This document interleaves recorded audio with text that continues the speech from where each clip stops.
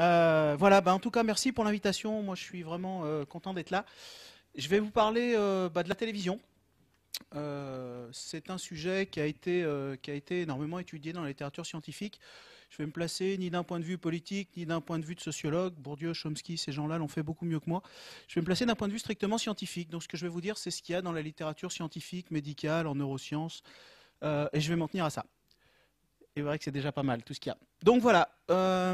Si vous avez des questions, si je vous perds dans la nature, parce que des fois je me perds tout seul, mais je perds les gens aussi, n'hésitez pas à m'interrompre. Si vous êtes un peu trop timide, faites-moi une grimace et je comprendrai que je vous ai perdu. Et puis on va y arriver. Alors la télévision, d'abord juste une ou deux, euh, une ou deux idées reçues, si ça marche. Le PowerPoint c'est autant pour moi que pour vous, parce que comme ça je me perds pas non plus trop. Ouais bon. Alors, alors le grand truc, c'est que euh, la télévision, c'est même plus la peine de s'y intéresser parce que parce que c'est vraiment le média déserté. Les jeunes ne la regardent plus, ils sont tous barrés de la télévision. Euh, ils sont tous sur Internet. Alors quelques citations comme ça, euh, à droite, à gauche. Désolé pour les gens qui sont de mon âge et plus vieux, mais sachez que la télévision est devenue un média de vieux. Donc si vous la regardez, voilà, c'est une tapisserie accrochée au mur. Les jeunes ne la regardent plus, ça inquiète les télécrates. Voilà, les jeunes se détournent de la télé pour Internet. Donc ça, c'est ce qu'on nous raconte tout le temps sur la télévision. Euh, en général, il y a des études qui le montrent, des études qui sont faites euh, très souvent par des sociétés qui vivent de la publicité sur Internet. C'est un peu par hasard. Voilà. La réalité, ça c'est juste le dernier article du Point, tiens, qui vient de sortir. Je ne suis pas un grand fan du Point, quoique. Euh, les Français se gavent de télévision. Juste pour vous montrer que l'année passée, en 2011, c'est 3h47 en moyenne. On a regardé la télévision. On a augmenté de plus d'un quart d'heure. C'est le nouveau record. Et tous les ans, ça augmente. 3h47 euh, pour les 4 ans et plus, pour vous donner une idée. Euh, c'est 11 ans, si vous arrivez jusqu'à l'espérance de vie à 80 ans, c'est 11 ans de votre vie que vous aurez passé devant la télévision. Sans dormir, sans manger, sans faire pipi. Si vous êtes à peu près normaux et que vous êtes comme moi et que de temps en temps, bah, il faut que vous y alliez et puis il faut que vous dormiez un peu, si on compte 7h30 à 8h pour ça, vous aurez passé à peu près 18 ans de votre vie devant la télévision à l'espérance de vie. Donc ce pas des choses qui sont négligeables. Et surtout, ça augmente. Bon, alors celui-là, il est vilain, c'est juste pour moi, vous verrez rien, mais c'est pas grave, c'est juste pour la musique.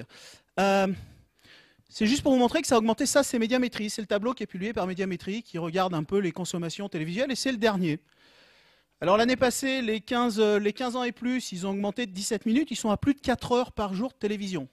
On se dit 4 heures, moi je regarde pas, ça va vite. Vous rentrez à 19h, vous la mettez, vous regardez le journal, 1, 2, 3, Docteur House, et hop, ça fait 4 heures. Voilà. Donc plus 17 minutes. Alors, les enfants de 4 à 14 ans, plus 6 minutes, ils sont à 2h20. Sauf que ces 2h20, ça ne tient pas compte. On sait normalement, notamment pour les 4-10 ans, qu'il y a une grosse consommation de DVD, et ça, ce n'est pas compté par Médiamétrie. En gros, on est plus à 2h40, 2h45. Là encore, pour vous donner un ordre d'idée de ce que ça représente, ça veut dire qu'à la fin de l'année, si vous comptez en moyenne combien de gamins il a passé devant la télé, combien d'heures il a passé, combien d'heures il a passé à l'école, il a passé plus d'heures devant la télévision que devant son instituteur donc pas s'étonner que ça ait quelques effets. Alors ça, c'est les fameux digital natives. C'est ceux qui sont nés avec un ordinateur dans le berceau, tout ça, qui ne regardent plus la télé. Ce sont des geeks, des multitaskers, des fous furieux. Et eh bien eux, plus 7. Ils sont à 2h45 par jour. Et ça augmente. Ça augmente en France, ça augmente aux États-Unis, ça augmente en Allemagne, ça augmente partout. Plus ils passent de temps, plus... Des études sur les jeunes, plus, plus ce sont ceux qui passent le plus de temps sur l'ordinateur et sur les jeux vidéo, qui en plus passent le plus de temps sur la télévision.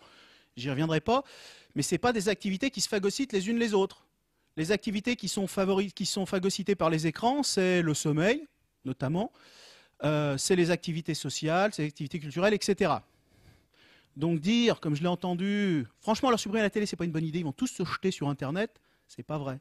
La télé, ils la regardent plus, ils la regardent d'autant plus qu'ils passent de temps sur Internet, et c'est d'autant plus vrai Maintenant, la télévision, avant, elle vous enchaînait à votre canapé, et maintenant, elle vous suit partout. Elle vous suit sur votre ordinateur portable, sur votre téléphone portable. Donc tout ça, ça ne va pas s'arranger. Il n'y a pas d'étude en France. Il y a une étude aux États-Unis qui vient de sortir qui montre que ces nouveaux usages, c'est-à-dire la télé en dehors du salon, celle qui vous emmenez dans votre téléphone, celle qui vous emmenez sur votre ordinateur, c'est déjà une heure par jour. Je ne sais pas s'il y en a parmi vous qui sont enseignants et qui sont enseignants dans université extraordinaire, il a fallu mettre des ordinateurs partout, parce que continuant, ils ne peuvent plus écrire, maintenant ils tapent avec des claviers. Et quand vous passez dans les, dans les rangées, comme ça, les ordinateurs ils se ferment tous les uns après les autres. Et de temps en temps, vous avez un demeuré qui s'est endormi. Et vous avez au choix un match de foot, la dernière fois c'était Lens, etc., etc. Donc vous n'êtes jamais euh, en retard d'une guerre. Donc voilà. Donc quelle que soit la catégorie d'âge, ça augmente. Pour les 50 ans et plus, ça a augmenté de quasiment 25 minutes. C'est-à-dire qu'on regarde de plus en plus la télévision, quel que soit notre âge. Et ça, c'est vraiment un message important parce qu'on a tendance à nous dire que ce n'est pas très vrai. Voilà. Alors celle-là, je l'aime. Quand vous allez faire une conf sur la télévision, les gens vous disent Ouais, mais oh, garçon, c'est culturel la télévision. Il y a des super films, il y a des documentaires aux petits oignons. Et voilà, un petit sondage IFOP qui, moi, me fait mourir de rire. Donc, quand vous demandez aux gens ce qu'ils aiment à la télévision, ils aiment les documentaires. Le cinéma, mais le bon, pas Rocky, le vrai cinéma, le truc d'auteur, quoi. Et alors, ce qu'ils détestent, mais alors vraiment ce qu'ils vomissent par-dessus tout, c'est la télé-réalité tout en bas, vous le voyez peut-être pas là, mais le petit truc là qui a peine à dépasser, là, qui ressemble à un zizi tout mou, c'est la télé-réalité. Voilà, et voilà. Et alors, quand vous demandez aux gens vraiment ce qu'ils aiment comme documentaire, ils vont vous dire les voyages, la découverte, les trucs sur les animaux, l'histoire. L'histoire, ça tombe bien, il n'y en a plus à l'école, mais il y en a à la télé maintenant. Euh, les arts, la musique, le théâtre. Bref, voilà à quoi ressemble notre télévision et ce que sont les souhaits des gens. Et voilà les chaînes qu'aiment les gens parce qu'elles y trouvent des bons documentaires. Arte, 45%. Un carton, première chaîne. Cherchez pas TF1, ils sont tout en bas. Là. Voilà. Donc personne ne regarde TF1. Et, euh, et, Planète, les gens aiment bien Planète. Euh, voilà. Alors ça, j'ai pas pu vous mettre les 100, mais ça vient de sortir. C'est les, 100 meilleures audiences de l'année passée, ça c'est les 20. Cherchez pas les documentaires, ils y sont pas. Vous en trouverez pas. C'est un mystère des sondages. Alors vous trouverez du rugby, vous trouverez euh, Claire Chazal accouchant DSK sur son canapé, et vous trouverez des super films d'auteurs, Le Mentaliste, Doctor House, Esprit criminel, j'ai jamais vu, mais ça doit être du même avec je pense, et encore du rugby. Et c'est pareil dans les 100. Donc si vous cherchez un documentaire dans les 100, c'est même pas la peine de vous déplacer, vous l'aurez pas. Et voilà les audiences réelles. Alors je vous rappelle quand même celle-là. Nous avons plébiscité Arte quand même. Alors Arte, cherchez en bas. Hein. Ceux qui sont au fond, vous allez avoir du mal. Donc TF1 est tout en haut. Arte, euh, bah, Arte 1,5% d'audience. Voilà. Planète, elle n'y est pas, c'est 0,01 quelque chose. Animaux, c'est encore moins. Je ne sais pas si elle existe. Euh, voilà. Sur les feuilles. Pardon? On va mettre les deux sur la même feuille. Ouais. C'est vrai. Bon. Donc voilà. Je ne l'ai pas fait. Je passe pas un blaireau. Bref. Donc voilà. Simplement, ce qu'il faut, ce que je veux dire par là, que les gens regardent TF1, je m'en fous. Enfin, ça, ça, m'arrache un peu l'âme pour leurs enfants, mais c'est pas, c'est, pas très important. Euh, ce qui est important de comprendre ici, c'est que la télévision, contrairement à ce qu'on nous dit, qu'on essaie de nous faire croire, c'est pas un espace culturel. La télévision, c'est pour les gens un espace de divertissement entre guillemets, et c'est surtout pour les gens qui la produisent un espace commercial. Je vais vous ressortir une formule de Patrice Lelay dont on a entendu qu'un petit bout, mais qui me paraît quand même intéressante de rappeler parce qu'il y en a quelques-uns qui l'ont raté quand même. C'est la chose la plus honnête que quelqu'un ait jamais dit sur la télévision. Et le mec, il en a pris plein la courge. Comme quoi, il ne faut pas toujours être très honnête. Hop, là voilà.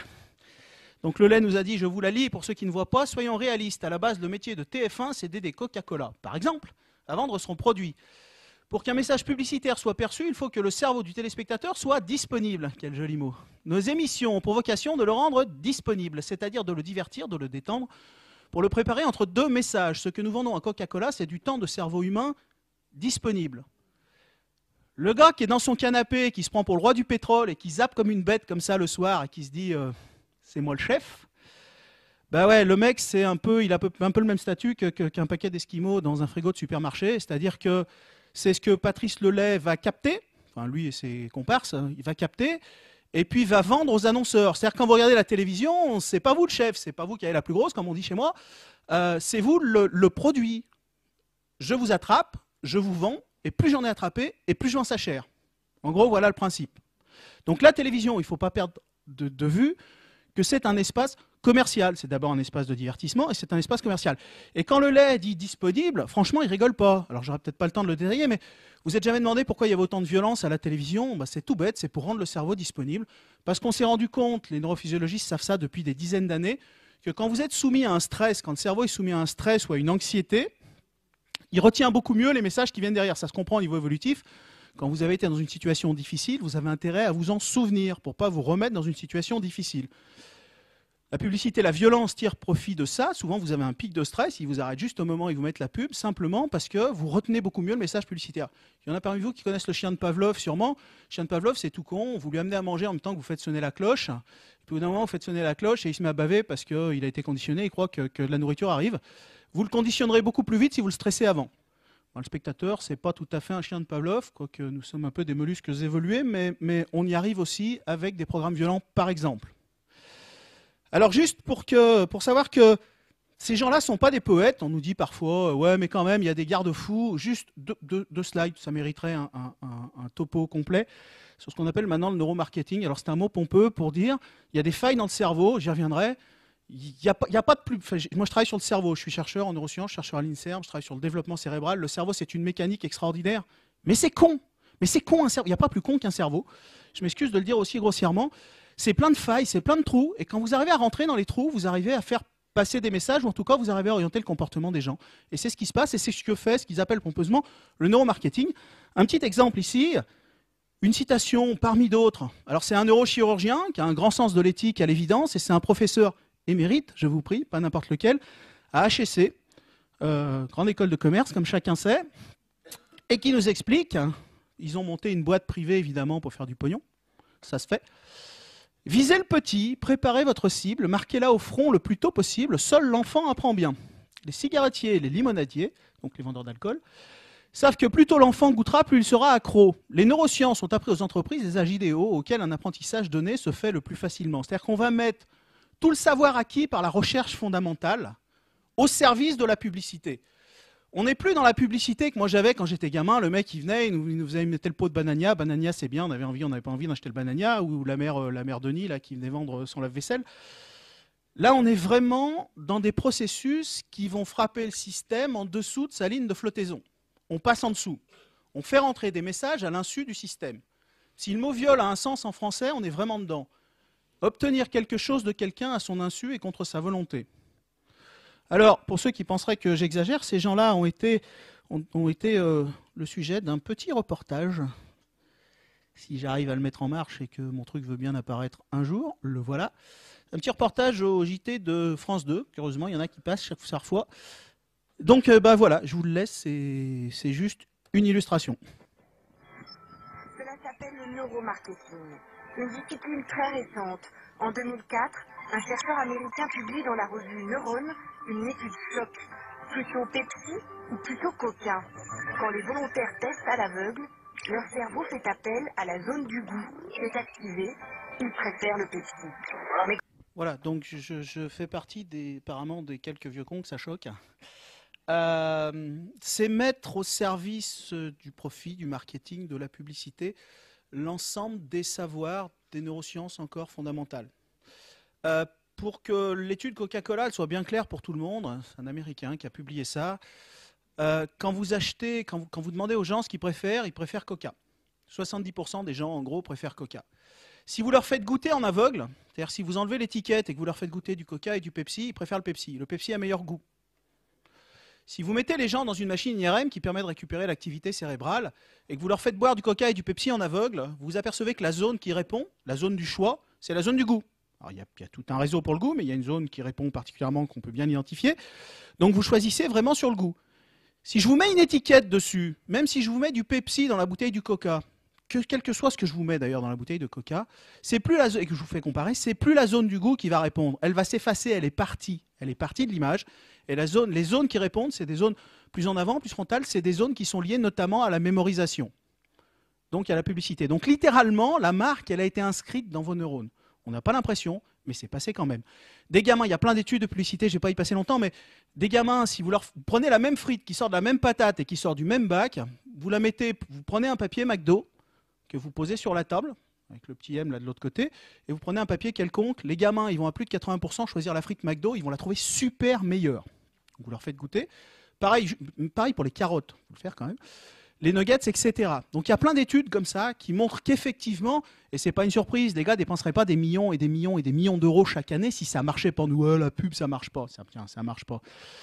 Euh, donc voilà. Donc ça, c'est juste pour montrer que la télévision, c'est euh, pas vraiment un espace culturel et, et c'est pas vraiment non plus un espace éthique où on s'occupe, contrairement à ce qu'on nous dit, euh, de ce qui arrive à nos enfants. Et j'y reviendrai tout à l'heure, notamment je prends l'exemple du tabagisme parce qu'il est très frappant, sur comment on peut faire pour passer sous la ligne de flottaison du cerveau. J'ai perdu personne? Cool. Euh, On m'a dit, quand ils voudront que t'arrêtes, tu, tu, tu, ils te diront et tu t'arrêteras, parce que je crois que j'ai débordé un peu sur l'heure qui était prévue. Mais bon. Donc vous m'arrêtez, hein, quand vous en avez marre, on s'en va, tout ça. Quand tu vois des neurochirurgiens euh, travailler comme ça, travailler bonjour, t'es inquiet en me disant si un jour j'ai à passer sur le billard, comment ils travaillent? T'as Non, je- entendu, non? Oui, je travaille dans un service de neurochirurgie, donc je me ferai opérer par mon pote, donc le problème n'est pas là. Euh, non, ce qui m'inquiète, c'est pas la, la- la qualité de ces gens-là à pouvoir opérer. Qu'à la limite, ils aient une deuxième activité, c'est pas gênant. Euh, moi, ce qui me gêne, c'est que ces gens-là, d'abord, souvent, lui, il est belge, je sais pas comment ça se passe en Belgique, mais souvent, ces gens-là, qu'ils soient neurochirurgiens, qu'ils soient neurologues ou autres, ont été formés euh, dans nos universités, sur des fonds publics, etc., etc. Que la, majeure partie de cette recherche vient de la recherche, notamment publique, même s'il y a une grosse partie de la recherche qui est privée. Et surtout, ce qui me gêne, c'est qu'on mette encore une fois au service de ces buts-là vraiment tout, tout ce qu'on a pu en prendre et tout ce qu'on sait des failles du cerveau. Encore une fois, c'est- vraiment dénier, c'est vraiment dénier le choix aux gamins. Euh, je, vais prendre juste un exemple bref. Nos goûts, ils se forment très tôt. La publicité, contrairement à ce qu'on dit, je reviendrai sur l'obésité, pas longtemps, n'y comptez pas. Euh, nos goûts, ils se forment très tôt et la publicité participe profondément à la formation de ce goût. Je vais prendre un exemple qui n'est pas lié à la télé, mais qui est parlant. Vous avez déjà goûté du ketchup? Franchement, c'est pas super. Vous avez déjà goûté du ketchup à la vanille? C'est un cauchemar. Ils ont trouvé que sur un segment de population d'un âge donné en Allemagne, le ketchup à la vanille faisait un malheur. Juste eux. Donc ils se sont demandé, mais qu'est-ce qui se passe? Pourquoi eux? Ils ont cherché, hein, ils se sont gratté la tête. Ils devaient être fonctionnaires comme moi, ils avaient du temps. Et au bout d'un moment, ils ont trouvé et ils ont fait des, des questions. Ils se sont aperçus que ces gamins-là, ces gens qui étaient trentenaires ou quarantenaires maintenant, qui avaient gardé cette trace, c'est parce que quand ils étaient petits, ils avaient été non pas allaités par leur mère, mais nourris au lait maternel, et que ce lait maternel, à l'époque en Allemagne, il était parfumé à la vanille. Franchement, quand vous aimez le ketchup à la vanille, quand vous êtes grand, vous ne revenez pas derrière. Et pourtant, il y a plein de choses qui se mettent en place comme ça dans la petite enfance. Café à la vanille? Ouh. Je peux pas dire de mal, j'ai une mère allemande. Oui?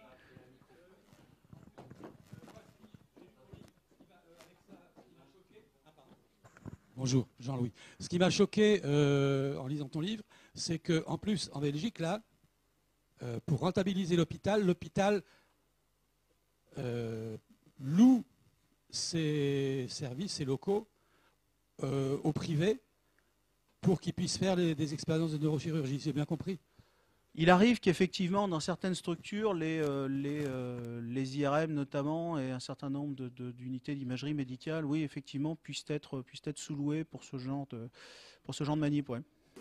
c'est grave, je trouve. Le public privé, on nous le vend tellement partout. Voilà. Et ouais. J'ai dit que je faisais pas de politique aujourd'hui. Je vais vous parler des influences de la télé, juste pour rire. Alors les influences, il y en a trois grandes. Euh, la cognition, tout le développement intellectuel, franchement ça déguste, je vais essayer de vous le montrer. La santé, c'est un problème de santé publique majeur. Euh, et la sociabilité et la violence, hein, sur lequel on reviendra si on a le temps. Vous n'êtes pas tous endormis d'ici là, etc., etc. Alors, la cognition, qu'est-ce qui déguste? Ça, c'est l'ensemble des éléments établis, très bien établis dans la littérature, de façon cohérente par plusieurs études convergentes. Le langage, l'attention, je vais en parler, la lecture, l'imagination, la créativité, ça n'en parlerai pas. Le temps consacré aux activités académiques, donc les devoirs, le fonctionnement intellectuel et l'apprentissage, ne serait-ce que les effets de la télévision sur le sommeil. Quand vous avez 800 000 gamins en France de 4 à 10 ans qui sont devant la télévision encore à 10 heures du soir et qui sont de nouveau dans la télévision le matin quand ils se lèvent à 8 heures, comment voulez-vous qu'ils fonctionnent à l'école, ces gamins? Donc des difficultés, pas que ça, mais le sommeil, l'apprentissage et les résultats scolaires. Alors je vais commencer par les résultats scolaires parce que en fait ils, ils- ils agrègent un peu tout ce qu'il y a avant. Parce que si avant ça dysfonctionne, vous allez voir ça sortir dans une note unique entre guillemets ou dans un résultat unique qui est le résultat scolaire. Alors c'est pas pour stigmatiser euh, le rôle de l'école ou pour dire que les notes c'est bien ou c'est pas bien, c'est juste parce que c'est une mesure qui est relativement euh, générale de ces choses-là. Alors d'abord un petit dessin. Il y en a qui sont psychologues parmi vous? Chouette. Ah non Zut. Bon. Donc il y a un test qui n'aime pas les psychologues, mais qu'il y en a qui utilisent quand même, qui s'appelle le test du bonhomme. Le test du bonhomme, c'est simple, on demande à un gamin de dessiner un bonhomme. Euh, le gamin, il dessine un bonhomme, alors ça mesure plein de choses. Ça mesure son coup de crayon, mais ça mesure aussi sa représentation, ça mesure son rapport à l'autre, la représentation qu'il a de l'autre, le symbolisme. Ce test-là, il corrèle avec le test de QI, grossièrement. C'est-à-dire que les gamins qui réussissent bien à ce test, ils ont en général des QI plutôt plus élevés que la moyenne, etc. Ceux qui réussissent moins bien, bah, ils ont des QI qui sont en dessous. Donc il y en a un qui a utilisé un, pédopsychiatre allemand, je crois qu'il était pédopsychiatre, euh, qui a demandé à des gamins de faire des dessins 5 ans. Alors les gamins, s'ils sont issus du même milieu, évidemment, sinon ça n'a pas de sens. En haut, des gamins qui regardent peu la télévision, entre guillemets, et en bas, des gamins, donc comparables en termes d'âge, de sexe, de milieu socio-culturel, qui regardent beaucoup la télévision. Voilà, donc s'il y avait qu'une... Euh, alors c'est pas la meilleure étude qui a été réalisée sur le sujet, mais s'il y avait qu'un message à faire passer, il est là. Euh, voilà. Vous précipitez pas chez vous pour faire dessiner votre enfant si vous en avez. 5 ans. 5 ans. Voilà. Alors, je voudrais maintenant qu'on parle des résultats scolaires. Alors, pour comprendre comment ça marche, l'étude suivante, il y a plusieurs façons d'étudier la télévision. Il y en a une, ça consiste à suivre des cohortes d'enfants pendant des années. Et ils ont suivi une cohorte d'enfants pendant plus de 25 ans. Donc ils les ont pris quand ils étaient tout petits et ils ont mesuré, quand ils étaient à l'école primaire, et ils ont mesuré tout un tas de paramètres. L'âge, le sexe, le poids, le niveau socio-culturel, etc., etc. Et après ils se sont demandé, on peut, avec des outils statistiques simples, prendre en bout de chaîne un paramètre, je ne sais pas, est-ce qu'ils sont obèses, est-ce qu'ils réussissent à l'école, est-ce qu'ils ont des problèmes d'attention. Et il y a des outils statistiques assez simples qui permettent, parmi les paramètres qu'on a enregistrés, de savoir lesquels ont joué un rôle, et surtout quel est le poids de chacun de ces paramètres. Donc quand on vous dit c'est l'effet de la télé, c'est l'effet de la télé. Si vous dites, si vous ne contrôlez pas, par exemple, pour le niveau socioculturel et que vous savez qu'il y a plus de télé dans les milieux défavorisés, ça ne voudra rien dire. Mais toutes les études, même si on tend à nous dire le contraire, toutes les études qui sont publiées prennent évidemment en compte ces facteurs-là, et notamment le niveau socioculturel. Sinon, ça n'a pas de sens. Vous ne publiez pas une étude dans la littérature scientifique si vous n'avez pas ça. Voilà. Une heure de télé par jour, à l'école primaire et vous augmentez de 43%, alors une fois que vous avez pris en, compte le niveau socio-culturel, l'âge, le sexe, etc., et vous augmentez de 43% vos chances de sortir de l'école sans diplôme. Si votre gamin, à la fin de l'année, il rate le bac, il y a peu de chances pour que vous vous disiez, que vous pensiez à la télévision qu'il a regardée quand il était à l'école primaire, et pourtant, alors ça ne sera pas le seul facteur, ça ne sera peut-être pas le seul facteur, mais c'est un facteur qui va augmenter très sérieusement les risques que ça arrive. Alors ça se comprend mieux quand euh, je vous aurais dit ce qui se passe après. D'abord un autre exemple pour montrer que c'est bien causal. Ils ont pris des ados de 14 ans qui regardaient la télévision juste moins de 2 heures par jour. Et puis ils les ont suivis pendant 2-3 ans. voilà. Et ils se sont dit, euh, il y en a qui ont augmenté leur consommation et il y en a qui l'ont diminué. Je sais pas, il y en a qui ont découvert le tennis, le baseball, ce qu'ils veulent. Et donc ils ont moins regardé la télé. Ceux qui ont diminué leur consommation de télé, ils ont, ils ont euh, le risque d'échec scolaire a diminué de 50%. Échec scolaire, c'est redoublement, se, se faire virer de l'école et se retrouver. c'est une étude aux États-Unis, une note de A à F là-bas, c'est se retrouver dans les EF. Quoi. Donc voilà. Et ceux qui, évidemment, l'ont augmenté ont doublé leur risque d'échec scolaire sur la même période. Donc il n'y a pas plus causal que ça.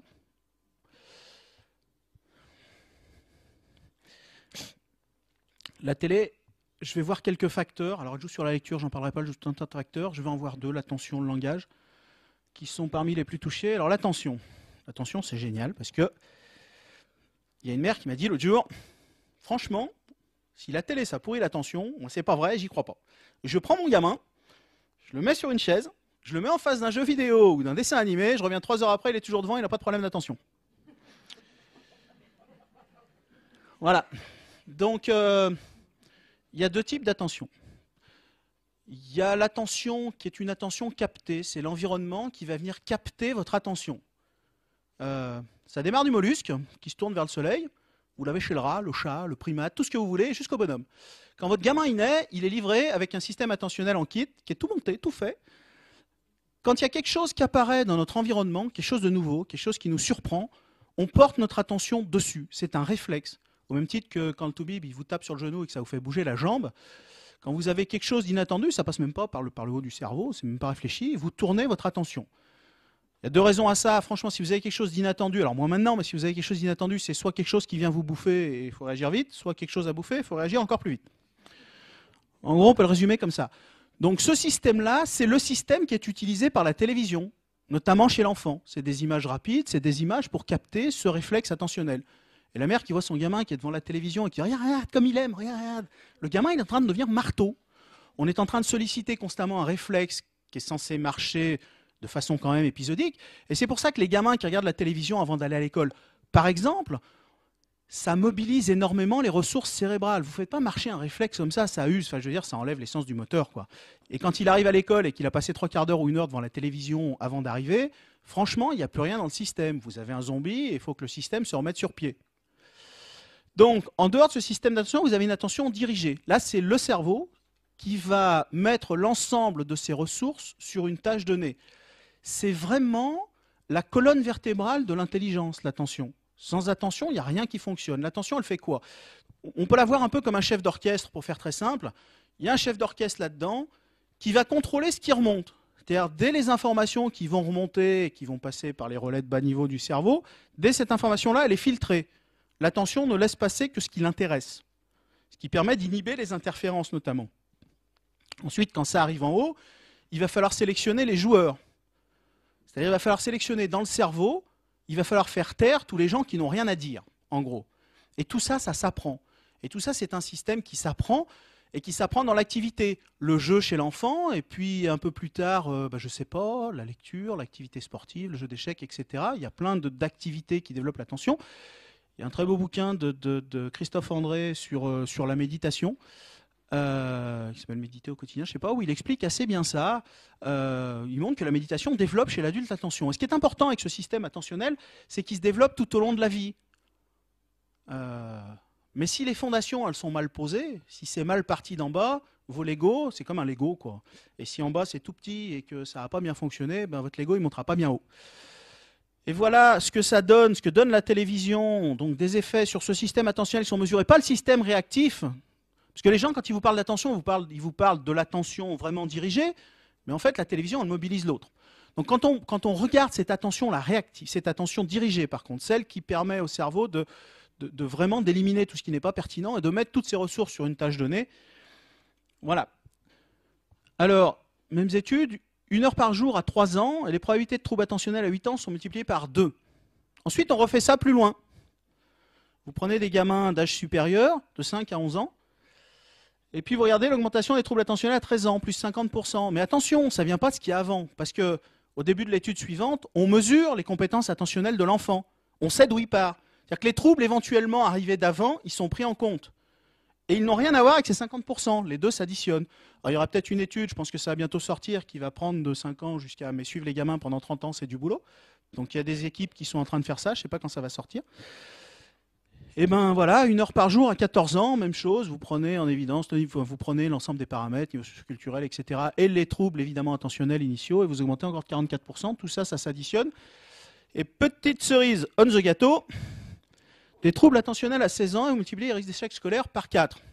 Donc on tape sur les instits, euh, on tape sur l'école, mais je ne suis pas sûr qu'elle soit seule responsable des problèmes que peuvent avoir les gamins quand ils arrivent, à part mon instit, mais les autres, ils sont bien. Voilà. Alors, des fois, c'est un peu subtil. Je vous ai dit que l'attention, elle se développait tout au long de la vie. Je vais prendre un exemple. Euh, vous, avez, euh, vous avez un adulte, papa, qui repasse. J'ai pas dit maman, hein. j'ai bien dit papa. Donc, papa qui repasse dans le salon. Et évidemment, il y a le gamin, vous ne savez pas quoi en faire. En gros, il vous prend un peu la tête. Donc, vous avez un petit parc, vous le prenez, vous le mettez dedans un peu, je dis bovin parce que je me suis engueulé l'autre jour. Donc vous prenez ce brave gamin et vous le posez dans son parc et vous avez l'impression qu'il fait rien. Il se passe plein de choses. Si on pouvait enregistrer ce qui se passe dans son cerveau, ça serait un feu d'artifice. C'est un miracle de l'évolution. Donc vous avez l'impression que vous avez un bovin apathique là qui fait rien pendant que vous repassez. Et en fait, vous avez un truc qui est en train de se construire et de s'allumer dans tous les coins. Euh, et ça progresse de façon assez prédictible. C'est-à-dire que le gamin, il va commencer quand il est tout petit par prendre un objet. Sophie la girafe au hasard. Donc il prend Sophie, il la regarde trois secondes, au bout de trois secondes il en a marre, il la jette, ou il n'arrive même pas à la tenir. Et puis le lendemain, il la prend un peu plus longtemps. Et puis il la regarde un peu plus longtemps. Le regard, c'est un signe d'ancrage attentionnel. C'est-à-dire quand le gamin est attentif à quelque chose, il porte son regard dessus. Il va la prendre plus longtemps, puis de plus en plus longtemps. Et puis, euh, et puis au bout d'un moment, il va prendre Sophie la girafe, il va prendre autre chose. Et puis il va mettre les deux ensemble. Et puis ça va être de plus en plus compliqué. Si vous regardez les, les- textbooks, les bouquins de, neuropsychologie, des signes de retard, euh, de retard du développement, par exemple, c'est des jeux plus courts, c'est des changements d'objets précoces. Euh, c'est une attention qui est mal focalisée sur l'objet avec lequel vous jouez. Vous pouvez prédire de là que l'enfant a un retard de développement. Euh, Qu'est-ce qui se passe avec la télévision? Le gamin, il est dans son parc, il chope Sophie la girafe. Et papa, il repasse. Il regarde la télé, évidemment. Et je dis, oh, pas grave. De temps en temps, il y a une image où il y a un son plus fort. Le gamin, il lâche Sophie et il regarde. Parce que son système attentionnel le porte à regarder. Il y a eu un son, ça l'a inquiété, il a regardé. Une seconde. Juste une. Il y a besoin que de ça. Les gamins, là, dans cette étude, ils regardent la télévision entre 2 et 5% du temps. Mais cette seconde-là, elle fait que il a Sophie la girafe, il a regardé et il a perdu Sophie la girafe. Il recommence autre chose. Cette complexification, elle ne se fait plus. Et vraiment, vous portez atteinte au développement de l'attention et du système juste par ça. Parce que ces gamins-là qui sont devant la télévision, même si elle est d'arrière-plan, même si c'est pas eux qui la regardent, même s'ils ne font que jouer à côté, on parle de jeunes enfants, de 1 à 3 ans, ils changent de jouet plus fréquemment, ils présentent des schèmes de jeux beaucoup moins riches, euh, ils affichent des places de jeu raccourcies, donc c'est moins compliqué puis c'est plus court, et en plus ils sont moins concentrés, juste du fait de la télévision. Parce qu'elle va happer l'attention, et quand vous êtes interrompu au milieu de quelque chose, ben, nous, il nous faut déjà du temps pour revenir dans le machin, vous êtes en train de faire quelque chose, vous avez un mail qui arrive ou le psychopathe qui vous appelle sur votre portable 15 fois par jour, vous répondez, vous posez votre portable, il vous faut un peu de temps pour... Le gamin, il fait pas ça. Le gamin, il pose, il prend autre chose, il repart ailleurs. Et donc, au lieu d'avoir un jeu qui est de plus en plus complexe, il a une somme de jeux mis bout à bout. Et ça, c'est une atteinte directe au développement de l'attention, notamment, et de tout le reste du système. Le langage. Ah, le langage. Allons-y. Le langage, c'est l'une des choses qui déguste le plus. Alors je vais commencer par euh, un petit truc général pour vous donner une idée de ce que fait la télévision, globalement. Les étudiants américains passent, euh, euh, un test d'entrée à l'université qui s'appelle le SAT, le Scholastic Aptitude Test. C'est sa partie verbale. Donc ceux qui ont un bon score, ils vont dans une bonne université. Ceux qui ont un score moyen, ben, ils vont dans une université moyenne. Et puis les autres, ben, ils vont là où il reste de la place. Dans les années euh, 60, euh, 60-70, là, il était à 550, ce test. C'était la moyenne au test. Et puis il s'est effondré. Il s'est effondré en peu de temps. Il s'est effondré en moins de 10 ans. Il a perdu 10%. 10% sur un test super standardisé. Pour un exemple, c'est comme si demain, tous nos gamins... C'est comme si, la, médiane d'intelligence qui est à 100 aujourd'hui, demain, tous nos gamins, on les testait, ils étaient tous à 90. C'est pas négligeable quand même. Donc ils ont perdu 10% et après ça s'est stabilisé. On s'est dit franchement, qu'est-ce qui s'est passé Donc il y a eu plein d'hypothèses plus ou moins farfelues, plus ou moins racistes, plus ou moins. Il y en a qui ont dit euh, Ah, les Noirs sont arrivés à l'université. Ça n'a pas marché. Ah ouais, non, c'était pas les Noirs, c'était les Hispaniques. Après, c'était les femmes. Alors les femmes, ça s'est rapproché quand même. Hein. On les connaît. hein. Mais bon, c'était encore pas ça. Après, il y a eu les instits, après, il y a eu les livres scolaires, etc. Il y a eu un peu tout, mais rien ne marchait parce que rien ne corrélait dans le temps et rien ne se calait et, et tout foirait. Et il y a une psychologue. Ils sont utiles des fois. Donc, je m'en emmène les pinceaux. Donc, il y a une psychologue qui s'est dit qu'est-ce qui le- le langage, il se développe tôt. Qu'est-ce qui s'est passé chez ces gamins-là quand leur langage s'est développé? Alors, celle-là, vous avez intérêt à l'apprécier parce que je me suis fait chier pour la faire. hein. Au début, là, quand tout se passait bien à 550, il n'y avait pas de télévision dans les foyers. Et la télévision, elle est arrivée très vite. En 10 ans, elle avait colonisé plus de 90% des foyers américains. En 7 ans, elle était à plus de 75%. Pour un ordre d'idée, le réfrigérateur, je crois que c'était plus de 60 ans, la radio, euh, plus de 50 ans, etc. L'automobile, 80 ans, le livre, plusieurs siècles, etc. etc. La télévision, c'est l'objet qui était rentré le plus vite dans les foyers. Voilà, ici c'était 30% de télévision, donc 30% des gamins ont été élevés avec la télé. On parle de score moyen de la population, donc, donc chaque gamin affecte ce score. Et puis ça a continué, 70, 93, et ça s'est arrêté, et quand tout le monde l'a eu, ça n'a plus bougé. Comme par miracle. Alors, ça, ça montre, c'est le seul facteur à ma connaissance qui explique cet effondrement. Euh, ça montre une autre chose, les gens me disent, euh, franchement, moi j'ai regardé la télé et j'ai fait Polytechnique. Ok. Tous les mecs qui vont passer le concours maintenant, ils sont là. Donc forcément, il y en a qui vont l'avoir. Mais si vous comparez cela avec les pépères du haut là-bas, là, ça va commencer à être plus délicat. Voilà. Donc c'est un peu le phénomène de, de- d'effondrement du langage, de cette fameuse fameux débat qui en sens n'a plus d'être sur euh, le, niveau baisse, baisse pas. Euh, voilà. Donc les effets de la télévision sur le développement du langage. Pourquoi? Parce que c'est pas le tout de le dire, faut le montrer. Ça, c'est ce que nous dit l'industrie. Alors le jour, euh, c'est une anecdote que je raconte souvent, mais moi qui m'éclate. Oui, je suis grossier parfois, je suis désolé. hein. J'avais une mère allemande, alors elle faisait pas la différence entre les bons et les mauvais mots. Tant qu'elle m'a tout filé dans la besace, et maintenant j'ai un peu de mal aussi. Donc, ce que nous dit l'industrie. L'autre jour, il y avait un gars qui était, euh, il y avait un gars qui était au supermarché avec sa femme. C'était à Marseille. Il avait un maillot de l'O- de de l'OM. Je suis tous au foot à Marseille. Et donc, euh, sa femme trouve un DVD, elle le prend, et c'était un truc pour le développement du langage. Elle lui dit Oh, regarde pour la petite. Oh, le mec enthousiaste, il prend le DVD, il le retourne, il voit le prix. T'es sûr? Oh, je sens pas bien. Et là, le gars, il a pris une volée de bois vert. euh, il y en a que pour, ton foot, euh, père indigne, etc. Enfin, moi, il se faisait fouetter dans le magasin. Donc, il a pris le DVD, il l'a mis doucement dans le caddie, et je n'ai pas vu la suite des opérations. Et vraiment, ce qui moi m'a frappé, bah, c'est pas tellement ce pauvre garçon, hein, t'es sûr C'était, euh, c'était cette femme qui pensait vraiment, en toute bonne foi, que si elle n'offrait pas ce DVD, que si elle n'exposait pas sa fille à ce DVD, il y allait y avoir un préjudice pour son développement langagier. Et voilà ce qu'on nous raconte. C'est plein de poésie. Alors c'est quelques exemples parmi d'autres, mais alors Brainy Baby, là, Brainy, ça veut dire euh, cortiqué, là, avec un gros cerveau. Brain, c'est cerveau en anglais. Alors vous allez développer le langage et la logique. Et puis Baby Einstein, porte bien son nom, pauvre Albert, enrichit le vocabulaire de l'enfant à travers la beauté de la poésie, de la musique et de la nature. Franchement, vous êtes parents, vous voyez ça, vous êtes vraiment indigne si vous achetez pas le truc. Hein. Baby TV, alors les histoires et les rimes de la série Lenny contribuent à l'apprentissage du langage. Euh, donc voilà ce que dit l'industrie. Voilà ce que montre la recherche.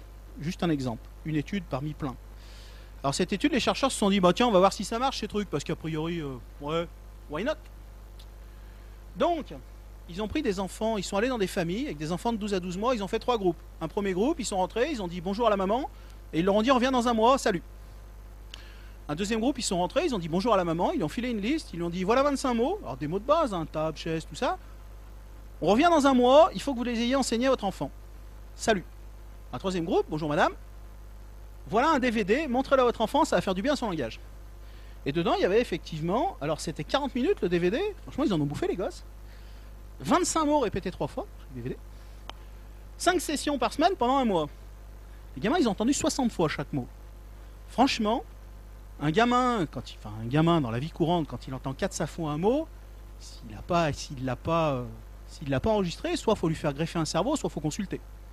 Un gamin très vite, il apprend. Je veux dire, les mots, ça rentre, il l'entend 3, 4, allez 5, 6 fois, 60 fois. Il n'y a pas un gamin qui a entendu 60 fois un mot et qui ne connaît pas. Surtout des mots courants comme table, chaise, etc.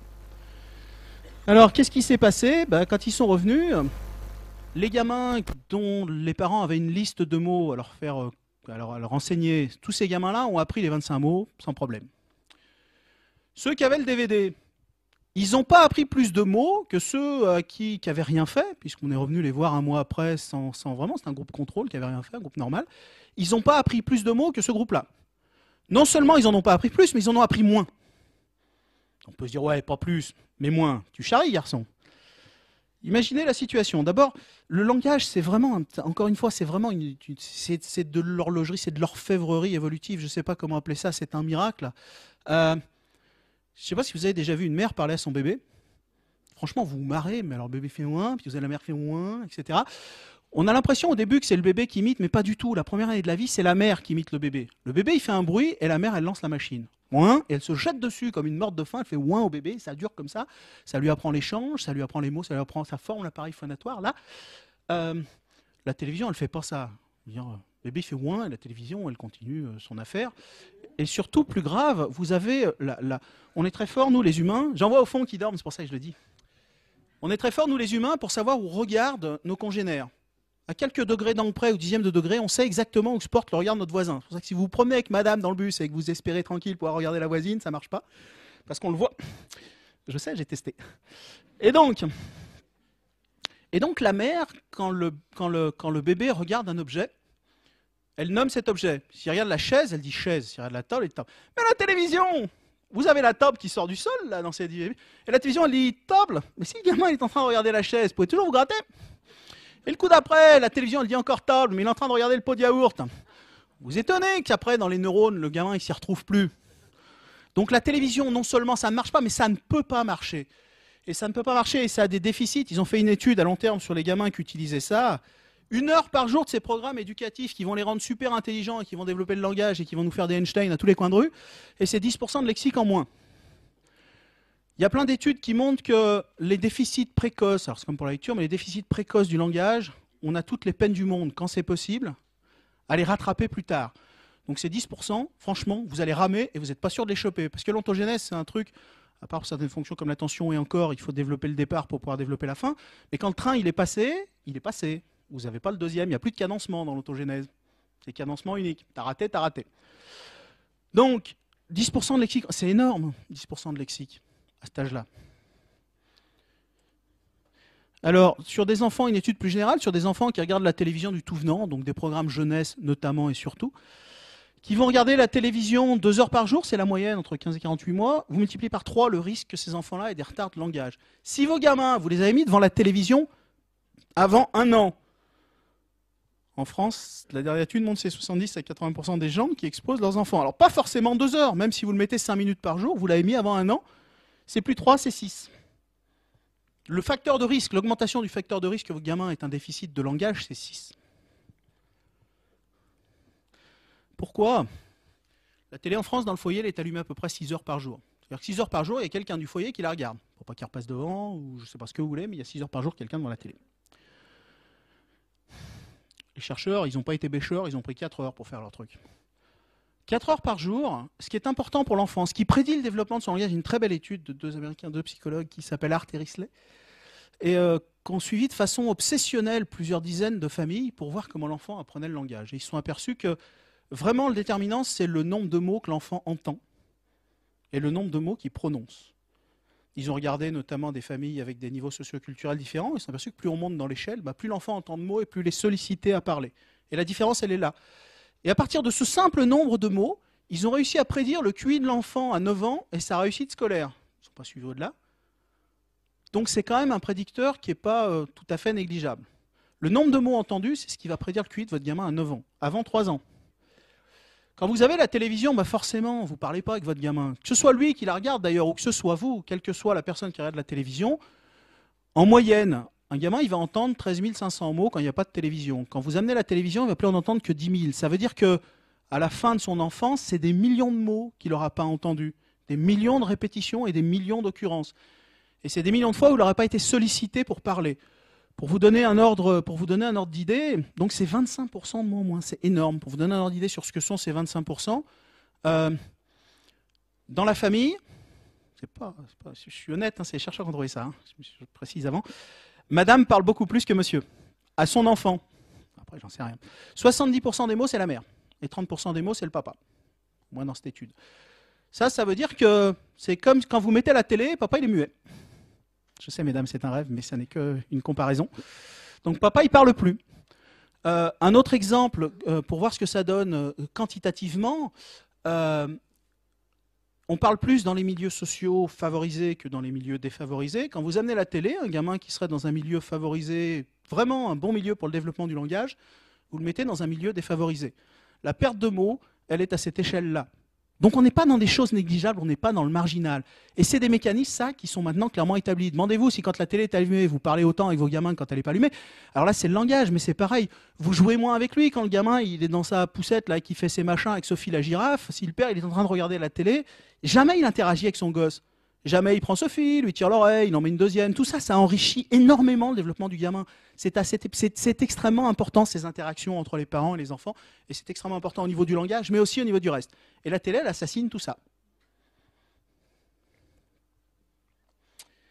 Voilà, l'attention, le langage. C'est bon? Continue? Cool. Ah non, non, mais je, demande à ma direction parce que j'ai été prévenu dans la voiture. Je suis venu avec lui, il m'a briefé. Hein. Si tu parles trop, tac. La santé, le sommeil, l'obésité, je n'en parlerai pas. N'y pensez même pas, pas une seconde. Le tabagisme, l'alcoolisme, la sexualité, l'image du corps, la sédentarité, tout ça, c'est ce qui est assassiné par la télévision. Allez, un petit mot quand même sur l'obésité, juste parce que ça me permet de dire que quand on parle des effets que peut avoir la télévision, les gens vous disent ouais, la télévision est responsable de tous les maux, tout ça, euh, alarmiste. Euh, L'obésité me permet de dire vous allez me croire, que la télévision n'est pas le seul facteur en cause sur ces choses-là, mais c'est un facteur important. Il y a d'autres facteurs, des facteurs sociaux, des facteurs etc. Mais c'est pas parce que la télévision n'est pas le seul facteur, d'abord qu'elle ne joue pas un rôle, et parfois, je vais le montrer, le rôle le plus important, et puis surtout, ça n'est pas pour ça que ça n'est pas un facteur important. L'obésité, notamment l'obésité infantile, euh, moi j'ai pas eu de peau. Avant j'étais beau et svelte, et j'ai rencontré une gonzesse, et elle m'a dit si tu manges pas, c'est que tu m'aimes pas, parce qu'elle est cuisinière. Voilà le résultat. Avant j'étais humain. hein. Alors, donc, le, problème de la télévision, c'est vraiment l'obésité infantile. Euh, Jacques Muller, qui est un ancien sénateur euh, écologie Les Verts, qui a essayé de faire passer un projet de loi pour réguler un peu la pub, ça marche pas. Un enfant qui regarde la télévision deux heures par jour à 3 ans, il a trois fois plus de chances d'être en surpoids. Un gamin qui est en surpoids, il a 8 chances sur 10 de le rester à l'âge adulte. Donc vous le traînez longtemps. Et lui surtout le traîne longtemps. Euh, donc, l'obésité, il y a plein de facteurs. Euh, il y a le manque d'exercice, il y a le fait que, alors s'il y en a parmi vous qui sont au régime, une petite astuce, si vous mangez votre pizza devant la télévision, vous en mangerez 30% de plus, parce que les mécanismes de satiété sont perturbés quand on est devant la télévision en mode automatique, et puis vous recommencerez à manger plus tôt après, et puis surtout, vous mangerez plus encore une fois après. Et puis ils ont fait des petites études où alors ça marche avec la télévision, mais ça marche avec, euh, avec les aliments, mais ça marche avec le tabac, ça marche avec l'alcool, ça marche avec un peu tout. Euh, si vous montrez à des gens un petit film comme ça, avec des gens qui mangent, mais même s'ils ne les voient pas et qu'ils ne les perçoivent pas consciemment, et des gens qui mangent pas à côté le même film, vous enlevez la séance, et qu'après ils sortent et qu'ils peuvent manger, ils mangeront deux fois plus, boiront deux fois plus, ils se mettront à fumer beaucoup, etc. etc. Tout ça, c'est des choses qui ne sont pas enregistrées consciemment.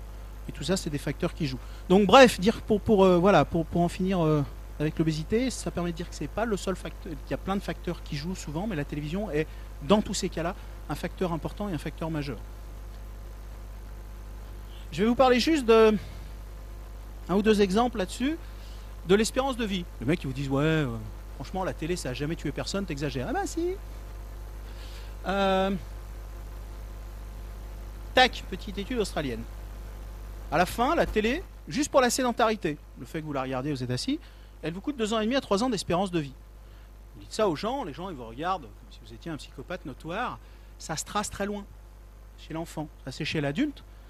Mais chez l'enfant, c'est-à-dire chez l'adulte, une heure de télévision par jour, euh, entre quelqu'un qui va regarder deux heures et quelqu'un qui va regarder quatre heures, c'est la moyenne pour cet âge-là, vous allez euh, augmenter quasiment par deux le risque de maladie cardiaque fatale. Et ça se trace très loin parce que euh, l'enfant, quand il va être devant la télévision, il ne va pas faire de sport et pas d'activité, donc son système cardiovasculaire qui va se développer, au moment de l'adolescence notamment, va moins bien se développer. Quand vous enregistrez le diamètre artériel, l'artère qui pulse le sang, l'enfant qui va regarder une heure de télévision par jour diminue ce diamètre, diminue son épaisseur et diminue le diamètre. Quand le mec il va faire un arrêt cardiaque ou qu'il va faire un AVC quand il aura 50 ans, personne se dira que c'est parce qu'il a regardé la télévision quand il avait 13 ans. Et pourtant, c'est déjà là. Parce que ça altère le développement de ce système. Plus l'artère, elle est, moins, elle est, développée, moins elle est large, et moins ça se passe bien derrière, et plus il y a de chances que ça se bouge. Alors juste pour que ce soit clair au niveau des temps, parce que deux ans et demi, trois ans, vous vous dites... euh, Donc les mecs qui ont fait l'étude, euh, c'est plusieurs dizaines de milliers d'individus, c'est une étude épidémiologique australienne. Voilà, à chaque fois que vous regardez Dr House, combien ça vous coûte de vie Pour savoir si le mec il va mourir à la fin ou pas Allez, soyez joueurs, un chiffre. 10 minutes. Deux, non mais deux minutes, non mais vous n'êtes pas sérieux, jeune homme. Allez, 22. C'est-à-dire si vous ramenez ces trois ans là euh, au nombre d'heures de télé regardées, à chaque fois que vous vous posez pour regarder Dr House pour savoir si le mec il meurt, ça vous rapproche de 22 minutes de la vôtre. En gros. Vous récupérez pas tout parce que le développement du système, euh, ben, vous l'aviez pas quand vous étiez petite. Suicidez-vous. Oui, les effets, il y a, il y a beaucoup d'effets qui sont. Ah ben voilà. C'est pas une mauvaise idée. Moi, j'ai pas eu le temps d'essayer, elle est morte avant, mais. Là, je parle de la télé, euh, les écrans, si vous voulez, on en parlera un peu à la fin. Mais oui, il y a des effets, euh, il y a des effets qui sont au niveau de la sédentarité, de l'attention, du langage, etc. Ah Oui, ça a des effets. Ça n'a pas été étudié, la taille des écrans. Non, alors alors il n'y a pas, y a pas d'étude à ma connaissance. La seule étude, c'est sur les grands écrans plats, ouais, qui semble avoir un effet plus. Ouais. Alors ces grands écrans très lumineux semblent avoir un effet sur la sécrétion de mélatonine, qui est l'hormone du sommeil, et donc perturber le sommeil. Mais au-delà de ça, il n'y a pas vraiment d'études euh, qu'on comparait. euh. Alors il n'y a pas d'effet, il n'y a pas d'effet sur les yeux apparemment. Euh,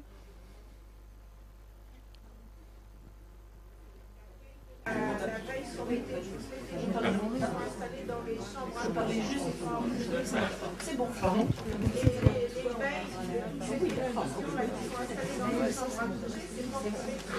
Non, il n'y a pas d'études. Les études qui ont été faites sur le rayonnement des vieux tubes cathodiques n'ont rien montré. Alors vous avez, euh, voilà, vous avez quelques gens qui vont vous dire euh, si c'est dramatique, mais il n'y a rien. Moi j'en ai un qui m'a dit un jour c'est 666 Hz, c'est le diable. Mais euh, voilà, mais il n'y a pas de, il a pas de, de- de- il n'y a pas d'éléments qui permettent en tout cas de le soutenir et, et à ma connaissance il n'y a pas non plus de, de raison de le penser. Il y a eu des recherches sur la télévision 3D Très peu, ça, commence sur la télé 3D. Alors, euh, les premières recherches ont montré que, que- que l'encodage, notamment de la mémoire, était meilleur. Et puis, les recherches suivantes ont montré que c'était moins bon. Parce que, alors, c'était pas tout à fait les mêmes tâches, mais parce que le 3D, ça, ça, ça vous prend plus de ressources cérébrales. Et donc, euh, donc c'est plus compliqué pour le cerveau. Donc, pour l'instant, on ne sait pas. Il y a des recherches qui sont en cours, mais euh, c'est nouveau, la 3D. Tu sais, les chercheurs, ils ont un temps de réponse qui est quand même un peu mou. Donc, dans 20 ans, on vous dira, quand on sera à la 8D, on vous parlera de la 3. en gros. Alors, je vais prendre l'exemple du tabagisme maintenant pour la santé. Si y en a parmi vous qui fument, je suis désolé, c'est c'est pas ni pour culpabiliser les gens ni pour avoir un jugement, mais c'est juste parce que c'est assez emblématique. 95 ou 98% des gens qui fument voudraient bien arrêter. Ils n'y arrivent pas parce que c'est super compliqué. Une fois que c'est dans le système, c'est dans le système. Et l'exemple du tabagisme, il est, il est particulièrement intéressant parce qu'il ne devrait y avoir aucun lien entre télévision et consommation tabagique. Il ne devrait y avoir aucun lien parce que la publicité est interdite. Les placements de produits sont interdits. Donc ça devrait être zéro relation. L'industrie du tabac, elle perd beaucoup de monde en bout de chaîne, quelques macabées à l'arrivée. Si elle chope pas les gamins jeunes, elle les chope jamais. C'est-à-dire que si vous n'avez pas chopé un gamin, si vous n'avez pas commencé à fumer entre 20 et 21 ans, avant, vous serez jamais fumé. Ah, il y a des poissons volants, il y a des extraterrestres qui te mettent à fumer à 55 ans. Mais abstraction faite des poissons volants, vraiment sur l'ensemble de la population, il y a très très peu de chances que quelqu'un qui n'a pas fumé à 20-21 ans se mette à fumer un jour. Donc il faut coincer les gamins quand ils sont ados. Le facteur principal de conversion d'un adolescent au tabagisme, c'est pas de savoir si ses parents fument, c'est pas de savoir si ses copains fument, c'est de savoir ce qu'il a vu à la télé. C'est le facteur qui pèse le plus lourd. Alors on a l'impression que ça diminue, mais pas du tout. Dans 70-75% des films de la dernière décennie, vous avez, euh, vous avez des images tabagiques. On ne les voit pas toujours. Je me souviens de cette, euh, euh, ce débat qu'il y a eu après Avatar, où on demandait aux gens, tiens, est-ce que vous avez eu des scènes tabagiques Et les gens disaient non. Et pourtant, il y avait cette scène mémorable, notamment où Sigourney Weaver sortait, euh, sortait de, son espèce de ça. C'est la première chose qu'elle disait après avoir passé, je sais pas, c'était des mois, des années dans son voyage. Oh, une cigarette, j'ai besoin d'une cigarette. Une fois, ça va, mais quand c'est des milliers, des milliers, des milliers de fois que c'est répété. Chez les hommes, l'autre jour, j'étais dans le train, il y avait un mec qui regardait un film, je crois que ça s'appelait Des mineurs, ce que j'ai vu. Et le mec, c'était un, c'était un viril, quoi. Plaquette de chocolat et tout, enfin un vrai, quoi. Et le mec, à chaque fois qu'il déminait une bombe, comme ça, il suait comme une bête, et après, il sortait sa cigarette et faisait facile. Voilà, des milliers, des milliers, des milliers de fois. Tout ça pour arriver au fait que les représentations du tabagisme dans les films sont extrêmement positives. Euh, c'est des gens qui sont socialement accomplis. C'est les super nanas, c'est les mecs qui ont le super boulot, la grosse voiture, qui réussissent bien. C'est toujours festif. Et surtout, les effets négatifs ne sont jamais appréhendés. Ou très rarement. Les mecs, ils n'ont pas de cancer. Mecs, ils sont pas mauvais. Ils n'ont pas les dents jaunes. Ils n'ont pas d'asthme. Rien.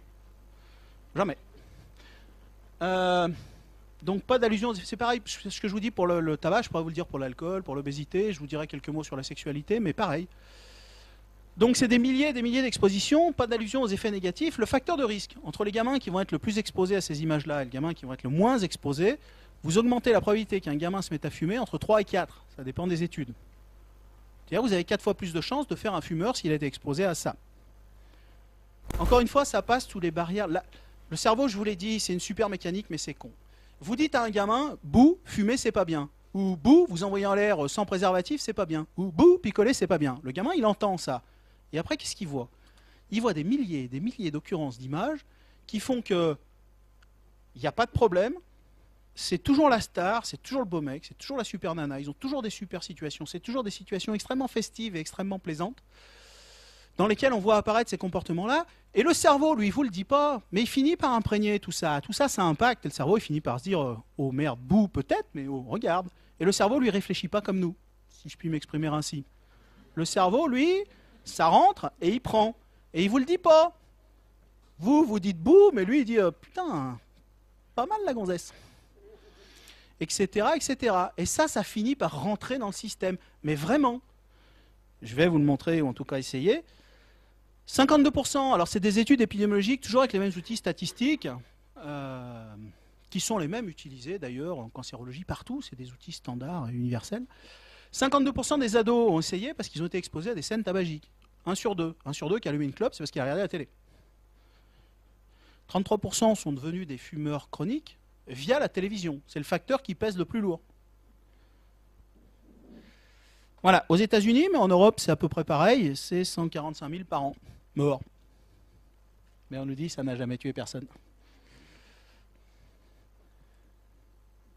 Alors, juste quelques images pour vous montrer. On ne les voit pas passer dans les films, juste pour vous montrer que c'est toujours des boudins qui fument et qu'on les voit toujours avec les dents carriées, tout ça, que c'est toujours terrifiant.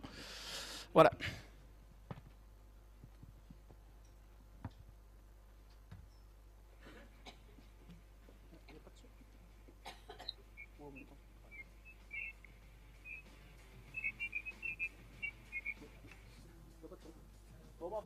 Bon voilà, le reste euh, est à l'avenant.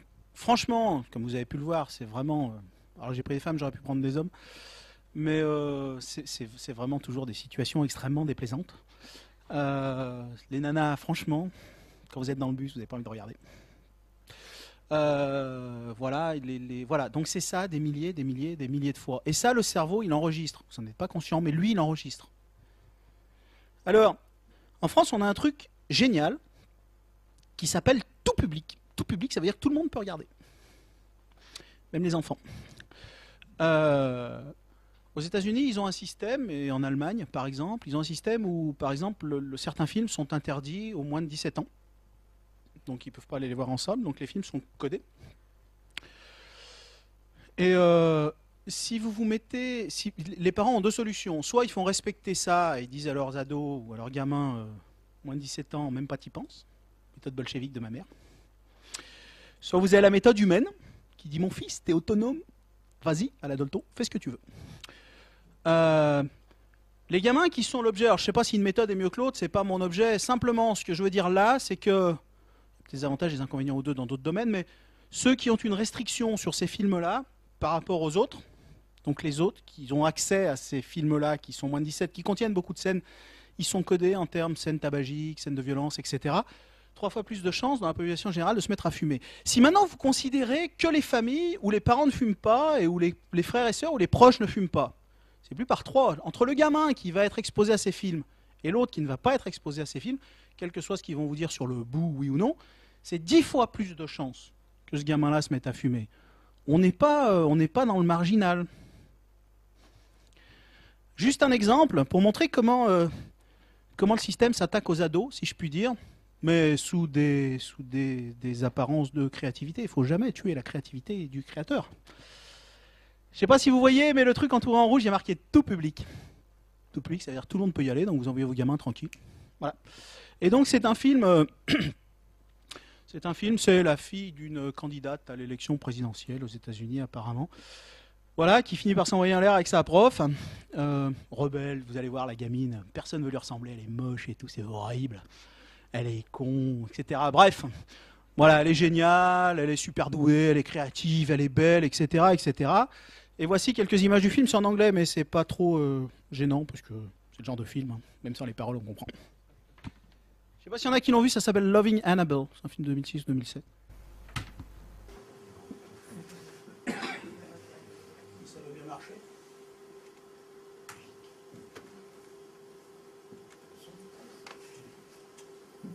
C'est lui là-bas.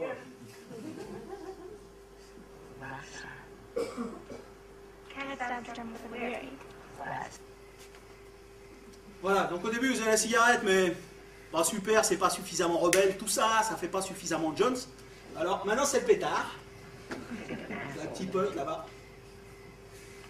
Voilà, donc euh, c'est sympa, il y a les petits grillons, tout ça. Bien avec les petits grillons. La nature. Naturel en fait. Et hop. Alors je dis pas que c'est pas un jugement de valeur sur les gens qui fait- les gens font ce qu'ils veulent, mais c'est juste pour montrer comment ça rentre dans le système à un moment donné. On n'est pas humain avec ça. Alors la dame qui arrive, c'est sa prof qui au début lui a dit Bouh, fumer c'est pas bien. Ouais, mais maintenant qu'on se connaît, je peux te dire la vérité, c'est pas si mal. Voilà. Comme la cigarette, ça rend grand. Tout ça, vous êtes très mature, et après, vous couchez avec la prof. Pas, hein Vous ne croyez pas On en a grillé une d'abord. La prof qui est au plus marre. Ah bah quand même Messieurs, n'y comptez pas, c'est fini Terminé, vous l'aurez le film Euh, Ce qui m'amène à la sexualité... Parce que micro, micro, micro. Ce qui m'amène à la sexualité. Le micro est bienvenu. Euh, donc vous avez eu une scène là. La sexualité, c'est quand même un problème important aussi. 70% des programmes tout public euh, contiennent des, des- des références sexuelles à hauteur de, de 5 incidents par heure. Donc on en prend pas mal, c'est pas toujours un coït. Mais quand c'est une relation, quand c'est un coït effectif, euh, dans la majorité des cas, 10 minutes avant, les gens ne se connaissaient pas. Donc le schème principal, c'est viens là, salut, comment tu vas, mets-toi sur la table, on fait notre affaire et on s'en va. En gros, ça se passe comme ça une fois sur deux. Le préservatif, vous le voyez jamais. Il sort pas. De temps en temps, comme ça, une fois. Alors je crois qu'ils ont regardé 4 ou 800 films, 400 ou 800 films, et qu'ils ont trouvé un préservatif qui sortait une fois de la pocket. Euh, donc il sort pas. Encore une fois, pas de, pas référence aux effets potentiellement négatifs, MST, grossesse précoce, etc. Ça, ça sort pas. C'est toujours positif? Toujours belle nana, les beaux mecs, tout ça. Voilà, pour, pour que les parents soient bien conscients de ce que les gamins regardent. Vous connaissez tous Rihanna? Alors là, il a sorti deux des clips préférés des gamins, euh, Rihanna et 50 Cent. Poétique, non? Donc encore une fois, c'est une petite euh, partie de la vidéo là, de Bruno Harley qui est vraiment un pédopsychiatre brillant, qui est vraiment, euh, qui, est, qui est- qui est vraiment, euh, qui travaille beaucoup là-dessus. Et j'en profite pour le rendre hommage. Il a, a aussi beaucoup travaillé dans sa vidéo. Il a inclus un certain nombre de choses sur les jeux vidéo, qui sont un sujet qui m'intéresse beaucoup et qui ont aussi ce genre de, choses. Voilà, donc intéressant parce que je ne sais pas si vous avez vu les nanas, comment elles sont, mais euh, c'est juste pas possible, quoi. Ça n'existe pas, des gens comme ça. Euh, les mecs, souvent, ben, alors ils sont pas comme moi, mais franchement, des comme ça, vous en voyez pas non plus beaucoup. Euh, le rôle de la femme, euh, au niveau des stéréotypes sociaux, c'est quand même assez impressionnant. Viens là jouer avec le bâton et rentre chez toi. Sois belle et tais-toi. Euh, tout ça, ça a des incidences. Qu'est-ce que ça veut dire? Ça veut dire que les ados qui sont exposés à ça, mais au film, à ce genre de- de- d'images, à terme, ça veut dire tout le monde couche, c'est 40%. Ça veut dire qu'il n'y a pas d'effet négatif? Ça veut dire que c'est marrant, c'est sympa, c'est plutôt cool. C'est vrai que ça peut être plutôt cool, mais bon. Euh, ça veut dire, surtout, si je couche pas, je suis nul. Donc tout ça, ça nous amène à des passages à l'acte plus précoces, moins protégés, et avec une multiplication de partenaires. Donc ça, c'est pour ce qu'ont montré les études. Maintenant, les études épidémiologiques, une ou deux, juste pour la forme, il y en a beaucoup. Euh, ils ont pris dans une étude des adolescentes de 13 ans qui étaient exposées à ce genre d'images. Alors là, c'était la télévision. Et euh, ils se sont aperçus que celles qui regardaient le plus la télévision, par rapport à celles qui la regardaient le moins, avaient trois fois plus de chances de faire une grossesse précoce. Une autre étude qui a des résultats similaires, ils ont regardé sur les clips, et les gamins qui sont exposés à ces clips ont substantiellement plus de chances, ces clips vidéo, là, ceux que je viens de vous montrer, de contracter des maladies sexuellement transmissibles. Voilà, viens sur le bâton, je vais te montrer comment ça marche, suce la sucette, tout ça, ça marche. Euh, voilà, maladies sexuellement transmissibles, incluant évidemment le HIV. Voilà les résultats de ça. Et juste une petite, parce que ça me tient à cœur, sur Vous rigolez, parce que j'étais en train de le lire. L'année prochaine, je reviendrai avec une conférence pour assassiner Freud. Bon. Donc, image du corps, parce que ça me tient à cœur. Voilà. euh, juste, ma gamine, la plus grande, euh, elle est comme sa mère. L'inverse de moi. Spirituelle, intelligente, belle, etc. Euh, un jour, elle a été voir un truc du, du- un- un- une, une série. Était chez une copine en vacances. Ça s'appelait Cœur Océan. Je sais pas si même vous, il y en a qui l'ont vu. Moi, j'ai regardé après. Donc, c'est des ados et des ados. eux. Ils sont beaux. Ils sont sur une île, sur une espèce d'île paradisiaque. Il y a la mer autour, c'est bleu, il y a du soleil, il y a des bateaux, ils les poncent un peu la journée. Ils sont cons Ils sont cons C'est terrifiant. Et la question qui se pose, c'est avec qui je vais coucher ce soir? Compliqué. Donc la petite est revenue après avoir vu ça une fois. Elle s'est assise. Elle laisse son indice de masse corporelle, pour vous donner une idée. Si elle perd encore un kilo, elle est dans la maigreur. Donc elle est grande, elle est, est filiforme. Bref, donc faut pas qu'elle en perde plus. Elle s'est assise et elle a dit à sa mère non, non, ça je peux pas manger là. Je vais grossir. Jusque là, ça va. Et si je grossis, j'aurai plus d'amoureux. Voilà. Donc ces idées-là, une fois, franchement, alors on se bat encore, elle n'est pas anorexique, mais franchement, faut ramer pour lui faire bouffer du pain et des pâtes. hein. Parce que euh, si je suis grosse, j'aurai plus d'amoureux. Et c'est toujours dans le système. Et on a beau causer, ben, c'est toujours dans le système. Il a suffi d'une fois. Imaginez quand c'est des dizaines et des dizaines de fois. Je vais vous donner un exemple. Ils ont amené la télé dans une île des Fidji, qui n'avait pas la télévision. C'était une population aborigène qui, qui- voyait euh, les rondeurs comme un marqueur social positif. Alors, j'ai pas dit l'obésité, j'ai dit les rondeurs. Ils ont fait une petite. euh, les, chercheurs, ils leur ont amené la télé parce que ces gens-là, quand même, faut les civiliser. Donc, ils, ils ont regardé. Les chercheurs sont venus avant l'arrivée de la télé. Ils sont revenus trois ans après et ils ont regardé ce qui s'était passé. Avant, ils ont fait un petit sondage. Il y avait quasiment 0%. Mais il n'y a pas quasiment. Ils ont trouvé 0% de gamines au régime et ils ont trouvé 0% de troubles du comportement alimentaire, anorexie, vomissement, etc. Quand ils sont revenus trois ans après, rien d'autre n'avait changé. Dans d'autres îles, c'était resté la même chose. Ils ont trouvé qu'il y avait 70% des gamines qui avaient fait un régime, des ados, 70%. Et ils ont trouvé qu'il y a 11% des gamines qui avaient des troubles du comportement alimentaire et qui se faisaient vomir, notamment, pour contrôler leur poids. L'effet de la télé, il est là. Il n'a pas fallu longtemps pour transformer complètement les représentations que ces gamines avaient de leur corps, du corps et de la place de la femme et de la façon euh, dont la femme euh, devait paraître. Voilà. C'est des poids qui sont lourds, c'est des manips qui là sont propres. Euh, il y a eu la même au Canada il y, a un peu, plus longtemps où ils ont montré que les rôles sociaux, avant l'arrivée de la télé, bah, les rôles sociaux étaient répartis. Le gamin, il était aussi capable de dire papa il fait la vaisselle et voilà et maman lit le journal. Et après l'arrivée de la télé, plus du tout. C'était papa il lit le journal et maman elle fait la vaisselle. Moi j'aime bien en même temps, hein, mais bon. Alors, la violence, rapidement, il n'y en a pas pour longtemps, c'est le sujet qui a été le plus étudié, c'est le sujet où on raconte le plus n'importe quoi. Il y a une étude qui a été faite par des chercheurs, qui ça a vraiment pris le chou, et ils ont regardé le degré de certitude qu'il y avait à l'intérieur de la communauté scientifique. Donc, ils ont pris toutes les revues, euh, toutes les revues médicales et ils ont regardé ce que disaient les chercheurs. Les chercheurs, ils se demandent plus si la violence, les images violentes ont un effet et rendent agressif. Ils se demandent même plus ça. Ils se demandent comment ça marche maintenant. Si vous essayez de publier un papier maintenant montrant qu'un gamin qui a vu des images agressives est plus agressif, on va vous rire au nez, on va vous envoyer chez Oui Oui Magazine parce que c'est tellement connu qu'il n'y a même plus de débat. Et puis il a regardé les journaux grand public, aux États-Unis, New York Times, Newsweek, etc. Et il a montré que c'était l'inverse. Plus les chercheurs étaient d'accord et plus ils étaient sûrs, plus dans les journaux on vous expliquait que les chercheurs n'étaient pas d'accord, qu'ils n'étaient pas sûrs, que la violence on ne savait pas, que c'était indécidable, etc., etc., etc. Il y a zéro probabilité que les images violentes ne nous rendent pas agressifs. Zéro. Alors on peut se dire, tiens, moi je regarde des images violentes, je suis pas agressif. Si on l'est, parce que quand on regarde des images violentes, on va faire ses courses et puis la caissière elle vous fait pas de sourire. Et au lieu de vous dire c'est pas grave, ben, vous allez lui voler dans les plumes. L'agressivité, ça peut être juste ça. Et puis si vous voulez dans les plumes, ben, il y a l'autre derrière, ça peut dégénérer. Le mec, il a pris votre place de parking, vous sortez, vous l'insultez, vous en mettez une, etc., etc. Donc ça peut être des choses, quand on parle d'agressivité et de violence, c'est pas forcément que vous allez découper votre voisin à la tronçonneuse. C'est qu'effectivement, ça augmente votre niveau d'agressivité et la probabilité que vous ayez des comportements violents, et c'est ce que je vais vous montrer. 60% des émissions contiennent des actes de violence. Il y en a encore plus, alors elle est stylisée chez les gamins, souvent c'est des dessins animés, mais pour eux c'est la même chose, et les, études montrent que, c'est la, la voient, que le gamin la voit en stylisé dans un dessin animé ou que l'adulte la voit en vrai, c'est la même chose. Il y en a encore plus, les gamins c'est 70%. 60% des émissions contiennent des actes de violence. Un spectateur moyen, vous, moi, enfin moi je suis pas vraiment moyen niveau spectateur parce que j'en ai plus, mais un spectateur moyen c'est près de 2500 crimes et 13 000 actes violents par an. Pour vous donner une idée, s'il mourait autant de gens dans la vie qu'à la télévision, dans à peu près deux mois, il n'y a plus un survivant en Europe et le dernier peut éteindre la télé.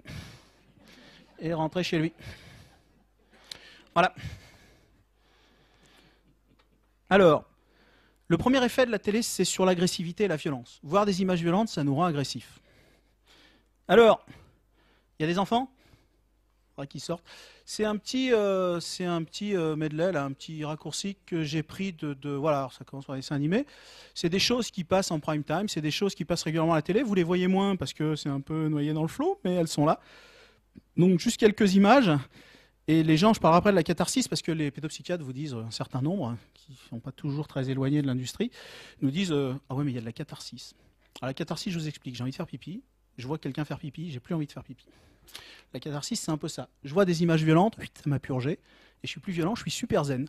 Donc, je vous laisse apprécier pour savoir si après cette petite séance, vous êtes euh, super zen à la Christophe André après une séance de méditation, ou si ça vous a un peu excité le neurone. Je connais du monde, moi.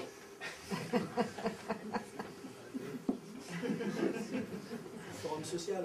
Je connais pas trop, moi.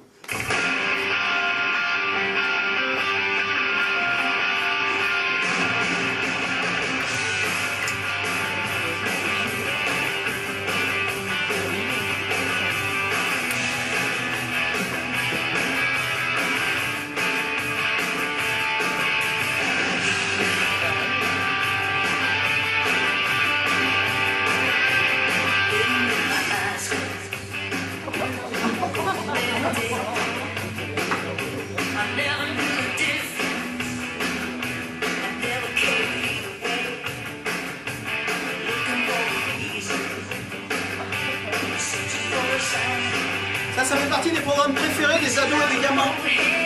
La boxe, le, le Ultimate Fighting, le catch.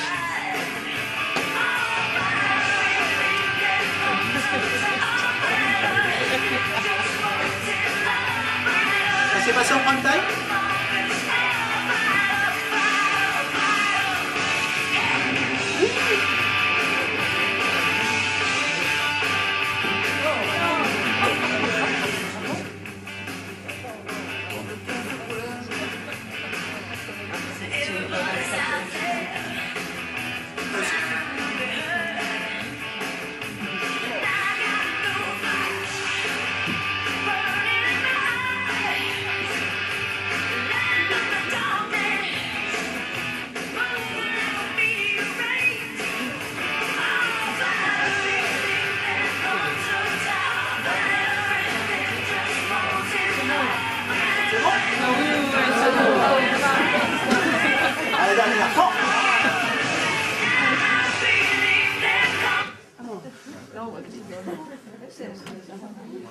Comme ça, vous en prenez en gros, ce que je disais tout à l'heure, 15 000 dans la courge chaque année.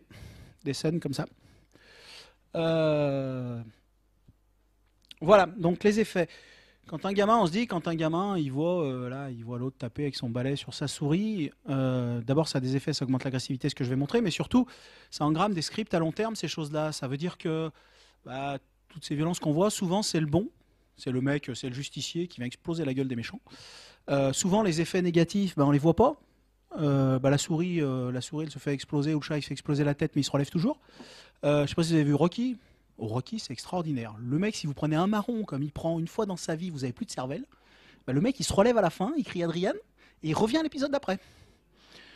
Donc, peu d'effets, euh, peu d'effets, peu d'effets négatifs à long terme, en tout cas montrés. Et tout ça encore, bah, ça passe la barrière. Et ça explique par exemple qu'un gamin qui a été, euh, c'est des études là encore qui sur plusieurs dizaines d'années qu'on suivi des gamins, un gamin qui a été exposé jeune à ce genre d'image, il a trois fois plus de chances de cogner sa femme quand il est adulte. Ouais, mais elle a cherché. hein. Alors, la suite des opérations. Alors la catharsis, je vous en ai parlé. La catharsis, ça marche pas. C'est le truc qu'on nous sort tout le temps. C'est l'espèce de vieille lune. L'Académie américaine de pédiatrie qui a beaucoup bossé là-dessus, elle a répertorié 3500 études. Zéro. Zéro n'a montré d'effet catharsis. Il n'y a pas une étude au monde, sérieuse, dans une revue scientifique. Alors vous en trouvez peut-être dans Oui Oui Magazine ou dans je ne sais quoi, mais il n'y a pas une étude. Il faut comprendre comment ça marche, la presse scientifique. Vous envoyez votre papier, l'éditeur le regarde. Si ça lui semble suspect, il le jette. Si ça lui semble à peu près acceptable comme ça au nez sans l'avoir lu vraiment, il l'envoie à un certain nombre d'experts, donc de vos collègues à vous, qui vont le désosser, entre 2 et 5. Dans les journaux, un certain nombre de journaux, 90% des journaux qui arrivent, des papiers qui arrivent, ils sont mis à la poubelle. Donc c'est-à-dire que ces cinq mecs regardent le papier et disent là, il y a une faille méthodologique. Donc soit tu fais une autre étude, soit ton papier part à la poubelle. Donc publier une étude dans un journal scientifique, c'est alors il y, a- sûrement des choses qui sont fausses et grotesques, mais ça limite quand même beaucoup les risques. Et quand vous avez des dizaines et des dizaines de papiers, comme c'est le cas pour la violence, 3500 qui vous donnent le même résultat, il y a peu de chances que ce soit un effet de biais. Et si vous opposez ça à un journal qui a un, euh, pseudo-expert euh, qui va être euh, sponsorisé par l'industrie, publié sous forme de bouquin chez un éditeur quelconque, ça n'est pas la même chose. Un truc publié dans un bouquin et rien, c'est pareil, en gros. Parce que ça n'a pas été regardé et scruté. Euh, voilà. Donc ça ne veut pas dire que c'est mauvais, mais ça veut dire que vous pouvez y mettre ce que vous voulez. Donc là, on parle d'études qui ont été vraiment publiées et validées. Zéro n'a montré d'effet catharsis. Il n'y a pas une étude au monde qui montre que quand vous regardez des images violentes, vous êtes moins violent après. Pas une. Pratiquement toutes les études, il n'y en a que 18 qui n'ont pas conclu. Qu'on dit, bah écoutez, j'en sais rien, je ne peux pas dire si c'est plus ou pas. J'en sais rien, j'ai pas assez de sujets, pas assez de statistiques. 18 sur 3500, on frise le miracle. En termes statistiques, pour ceux qui sont familiers. Donc vraiment, il n'y a plus de doute sur ce sujet-là. Alors, des effets à court terme, par exemple. Je vais parler d'un certain nombre d'effets qui le montrent. Le cerveau, il est fait comme ça. Le cerveau, c'est une éponge. Si je vous montre l'image, même si vous ne la voyez pas, si je vous affiche ici l'image d'une vieille dame, et qu'après vous décidez d'aller aux toilettes, votre cerveau, il a pris l'info. Lui, il le sait, mais vous, rien du tout. Et aux toilettes, vous allez y aller plus lentement, sur mesure le temps que vous allez mettre. Si vous voyez des gens, ça, ça a été montré souvent, si vous voyez des gens faire un bras de fer, votre biceps, il va se contracter, mais vous ne le verrez pas. Si vous voyez quelqu'un se faire piquer avec une aiguille, le muscle précis, la zone du cerveau qui contrôle ça, elle va s'inhiber. Genre, si ça m'arrive à moi, garçon, même pas t'y penses. Et tout ça, c'est des choses que le cerveau fait régulièrement. Si vous voyez des gens manger, vous avez plus de chances de vous mettre à manger. Ce que je vous disais, si vous voyez des, gens manger une pizza dans un film, vous allez manger deux fois plus en sortant. Etc. Non, mais par contre, si les gens prennent un accent bizarre, vous allez prendre le même. Si les gens prennent une posture, vous allez avoir tendance à prendre, etc., etc. Ça, c'est des phénomènes miroirs qui sont pas la même. Ça, on parle de phénomènes, de ce qu'ils appellent les phénomènes de priming, c'est-à-dire d'amorçage. Le cerveau, c'est plein de reprises. Si je vous mets une pomme sur la table, vous allez regarder la pomme. Toutes les aires du cerveau qui servent à attraper cette pomme, elles sont engagées. Il y a des structures dans le cerveau qui servent à la saisie de la pomme. Et bien, toutes ces aires, vous les voyez s'allumer, même si vous n'avez pas l'intention de l'attraper. Si vous êtes plusieurs autour d'une table et que vous avez la même pomme et que vous savez que les autres ils sont là, même si c'est des mannequins et qu'ils ne bougent pas, et même si vous dites au gars le mec bouge pas, que vous demandez d'attraper la pomme, il va l'attraper plus vite. Parce qu'il aura peur de se la faire boulotter par les voisins. Même s'il sait que les voisins vont pas bouger. Donc il y a tout un tas de phénomènes comme ça. Et le miracle, si je puis dire, ça n'est pas que les images violentes nous rendent violentes, ça serait l'inverse. Ça serait que les images violentes nous laissent insensibles, voire nous calment. Ça c'est juste pas possible. Il faudrait qu'on revoie tout ce qu'on sait sur le cerveau. On sait déjà pas grand-chose, ce serait pénible. Donc, ils ont montré des films violents à des gamins, soit une, séquence de films violents, soit pas de film, soit une séquence de films un peu speed mais pas violent. Et on s'aperçoit que après vous les envoyez les gamins faire un match de hockey et vous comptez les fautes. C'est tout con, hein une étude parmi des milliers d'autres sur les 3500 dont j'ai parlé.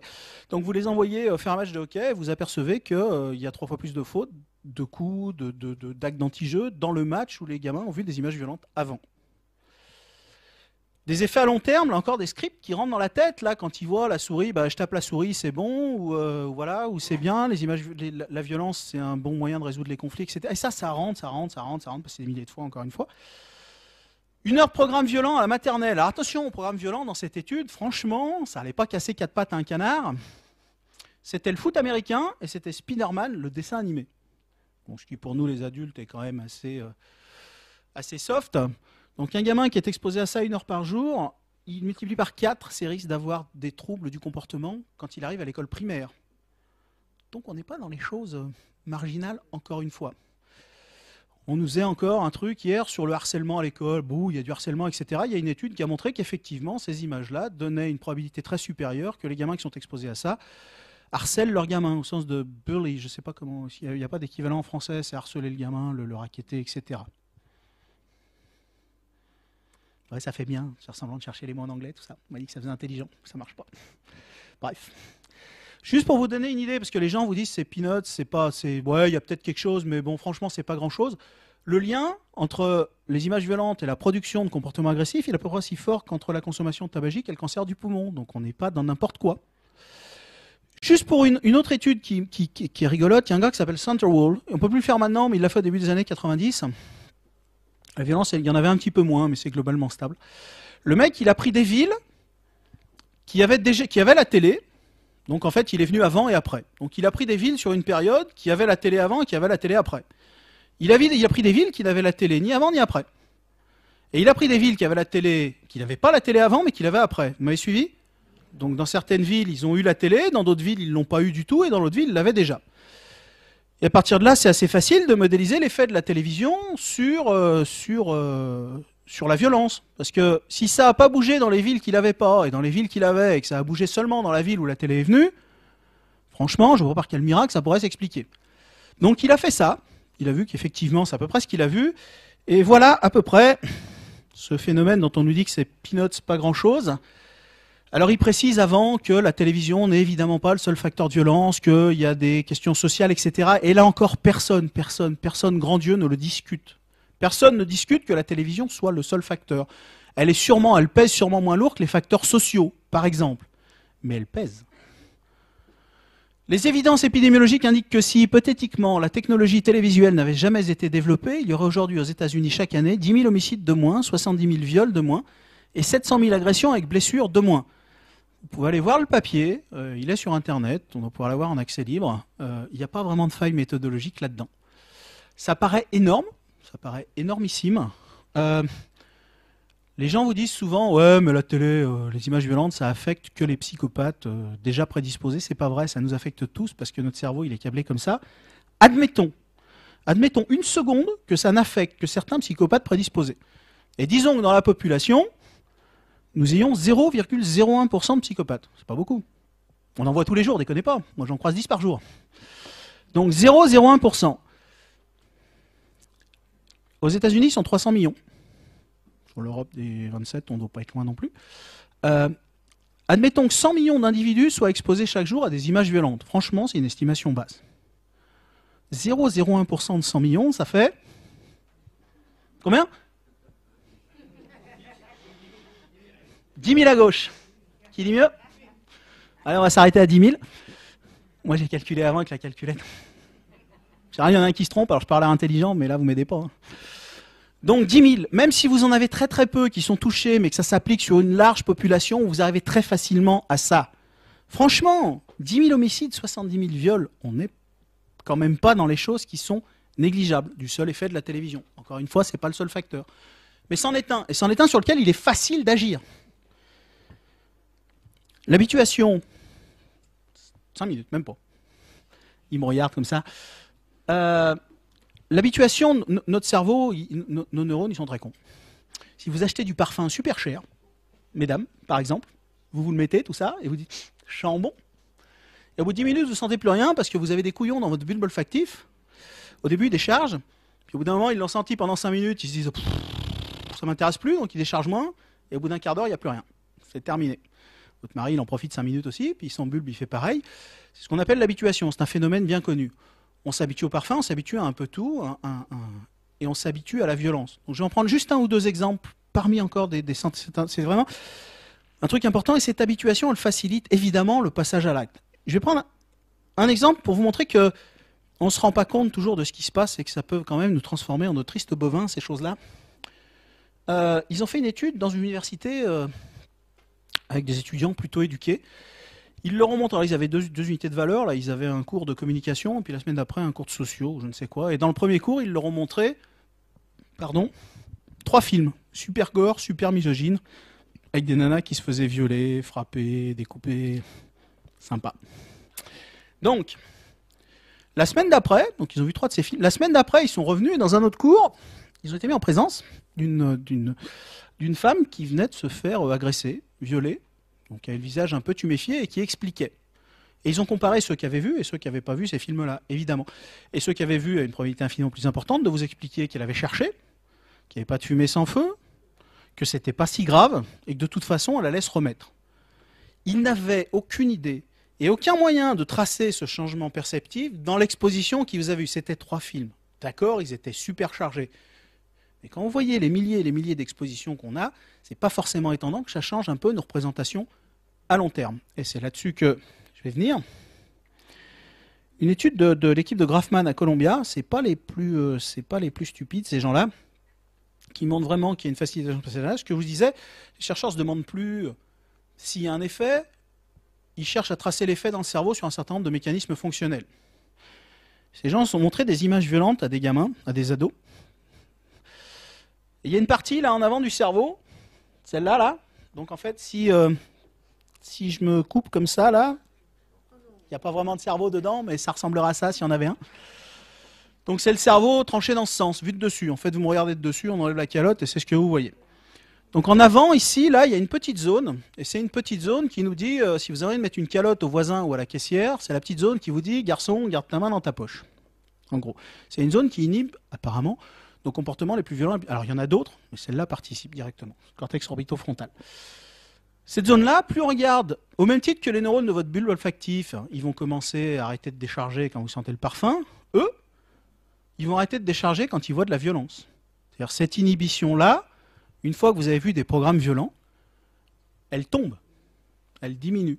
Donc vous avez moins d'inhibition au comportement violent. Et là où ça devient quand même franchement déplaisant, ils ont fait la même étude, ça c'est un cerveau en 3D. Ça c'est vu de dessous, là, par là. Ça c'est le dessous du cerveau, celui-là. Cette zone-là, c'est celle-là là. Fallait que je vous montre un cerveau pour parler intelligent. L'anglais ça n'a pas marché, le calcul non plus. Et ici, c'est la même zone, mais vue de devant. Si vous me regardez là, elle est à peu près par là. Là, vous passez sous l'œil et puis vous tombez dessus.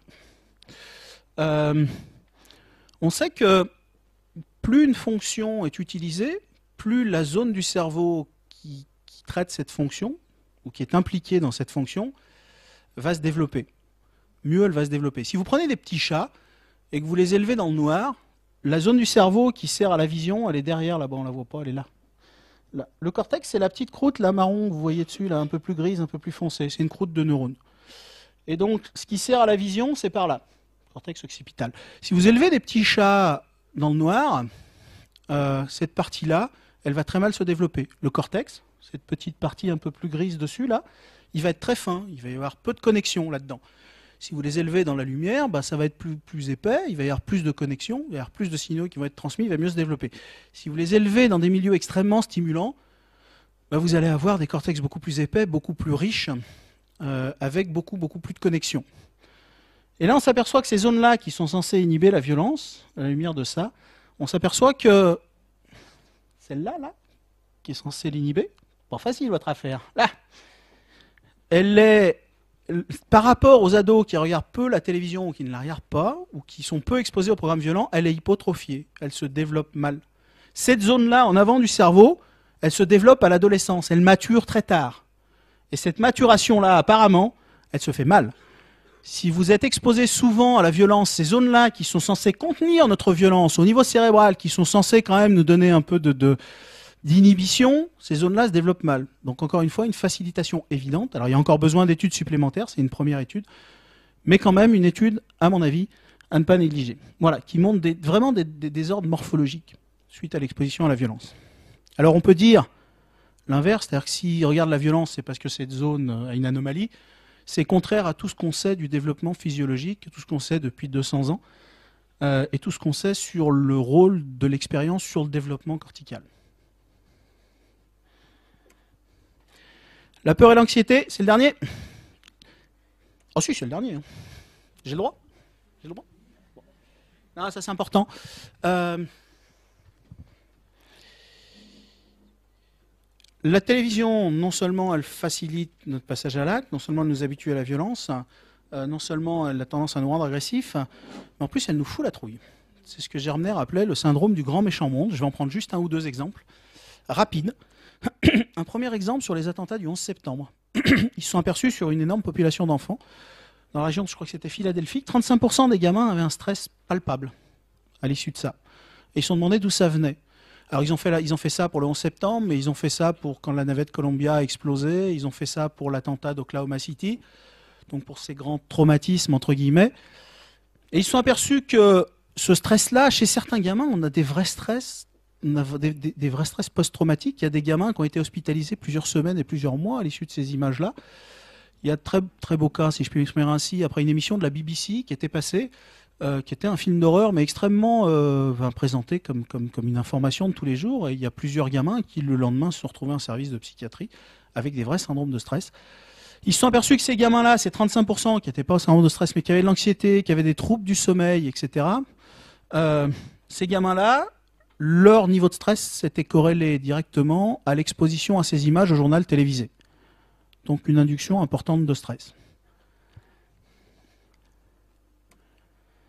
Une deuxième image pour ceux, une deuxième idée pour ceux qui penseraient que nous sommes tous immunes à ça ou. Euh, aux États-Unis, ils leur demandent depuis des années, alors on aurait pu le faire avec la France, mais en général je me fais engueuler donc avec les élections de 2002, donc je vais vous le faire pour les États-Unis. C'est une étude qui est parue dans la littérature. Euh, depuis des années, ils demandent aux gens qu'est-ce qui vous inquiète, qu'est-ce qui est important pour vous? Alors il y a le chômage, il y a je sais pas quoi, il y a le nucléaire, il y a tout ce que vous voulez. Et puis, euh, depuis des décennies, l'insécurité, c'était 3 à 4% 5 dans les grandes années, des gens qui mentionnaient l'insécurité. Et là, en 1994, on est monté à 52. Putain, les mecs se sont dit, euh, chaud, ça a dû égorger dans les rues américaines. Donc ils sont allés voir et pas du tout. La criminalité est baissée sur toutes les années 90. Elle baissait d'ailleurs depuis plusieurs années de façon assez stable. Donc c'était pas là la réponse. Et ils se sont aperçus que 94, ça rappelle quelque chose à quelqu'un? Non mais quelque chose de quelque chose de gore. Ouais, alors là ils ont ils ont pas été ils, sont pas assez cortiqués comme ça. Euh, c'est l'année où euh, la femme d'O.J. Simpson, le footballeur, a été égorgée avec son amant. Et donc ça a entraîné une avalanche de faits divers violents dans les journaux télévisés américains. Il y a eu un ou deux faits divers bien gore comme ça. Et ils sont aperçus après que, alors, parce qu'ils ont suivi, donc c'était vraiment une peur médiatique. On pouvait ce 52%, on pouvait le- le ramener vraiment à l'augmentation de ces faits divers violents. Et depuis, il y a des études qui ont suivi le nombre, qui ont suivi cette courbe d'insécurité et le nombre de faits divers violents dans les journaux télévisés, les deux se suivent. Donc en gros, si vous voulez foutre la trouille aux gens, mettez-leur des faits divers violents au journal télévisé. Euh, voilà, ce qui ne veut pas dire que c'est forcément une manipulation, ce qui veut dire que par exemple, ben, en France, Chirac, il a peut-être été malin en 2002 de mettre ça sur le devant de la scène et d'obliger les télés à en prendre possession. J'en sais rien, c'est pas mon truc et c'est pas le débat, mais en tout cas, il y a ce phénomène-là. Et voilà, tac, regardez, c'est fini. C'est fini, allez, hop, C'est sûr, c'est fini. une heure tout rond. Bon. Merci.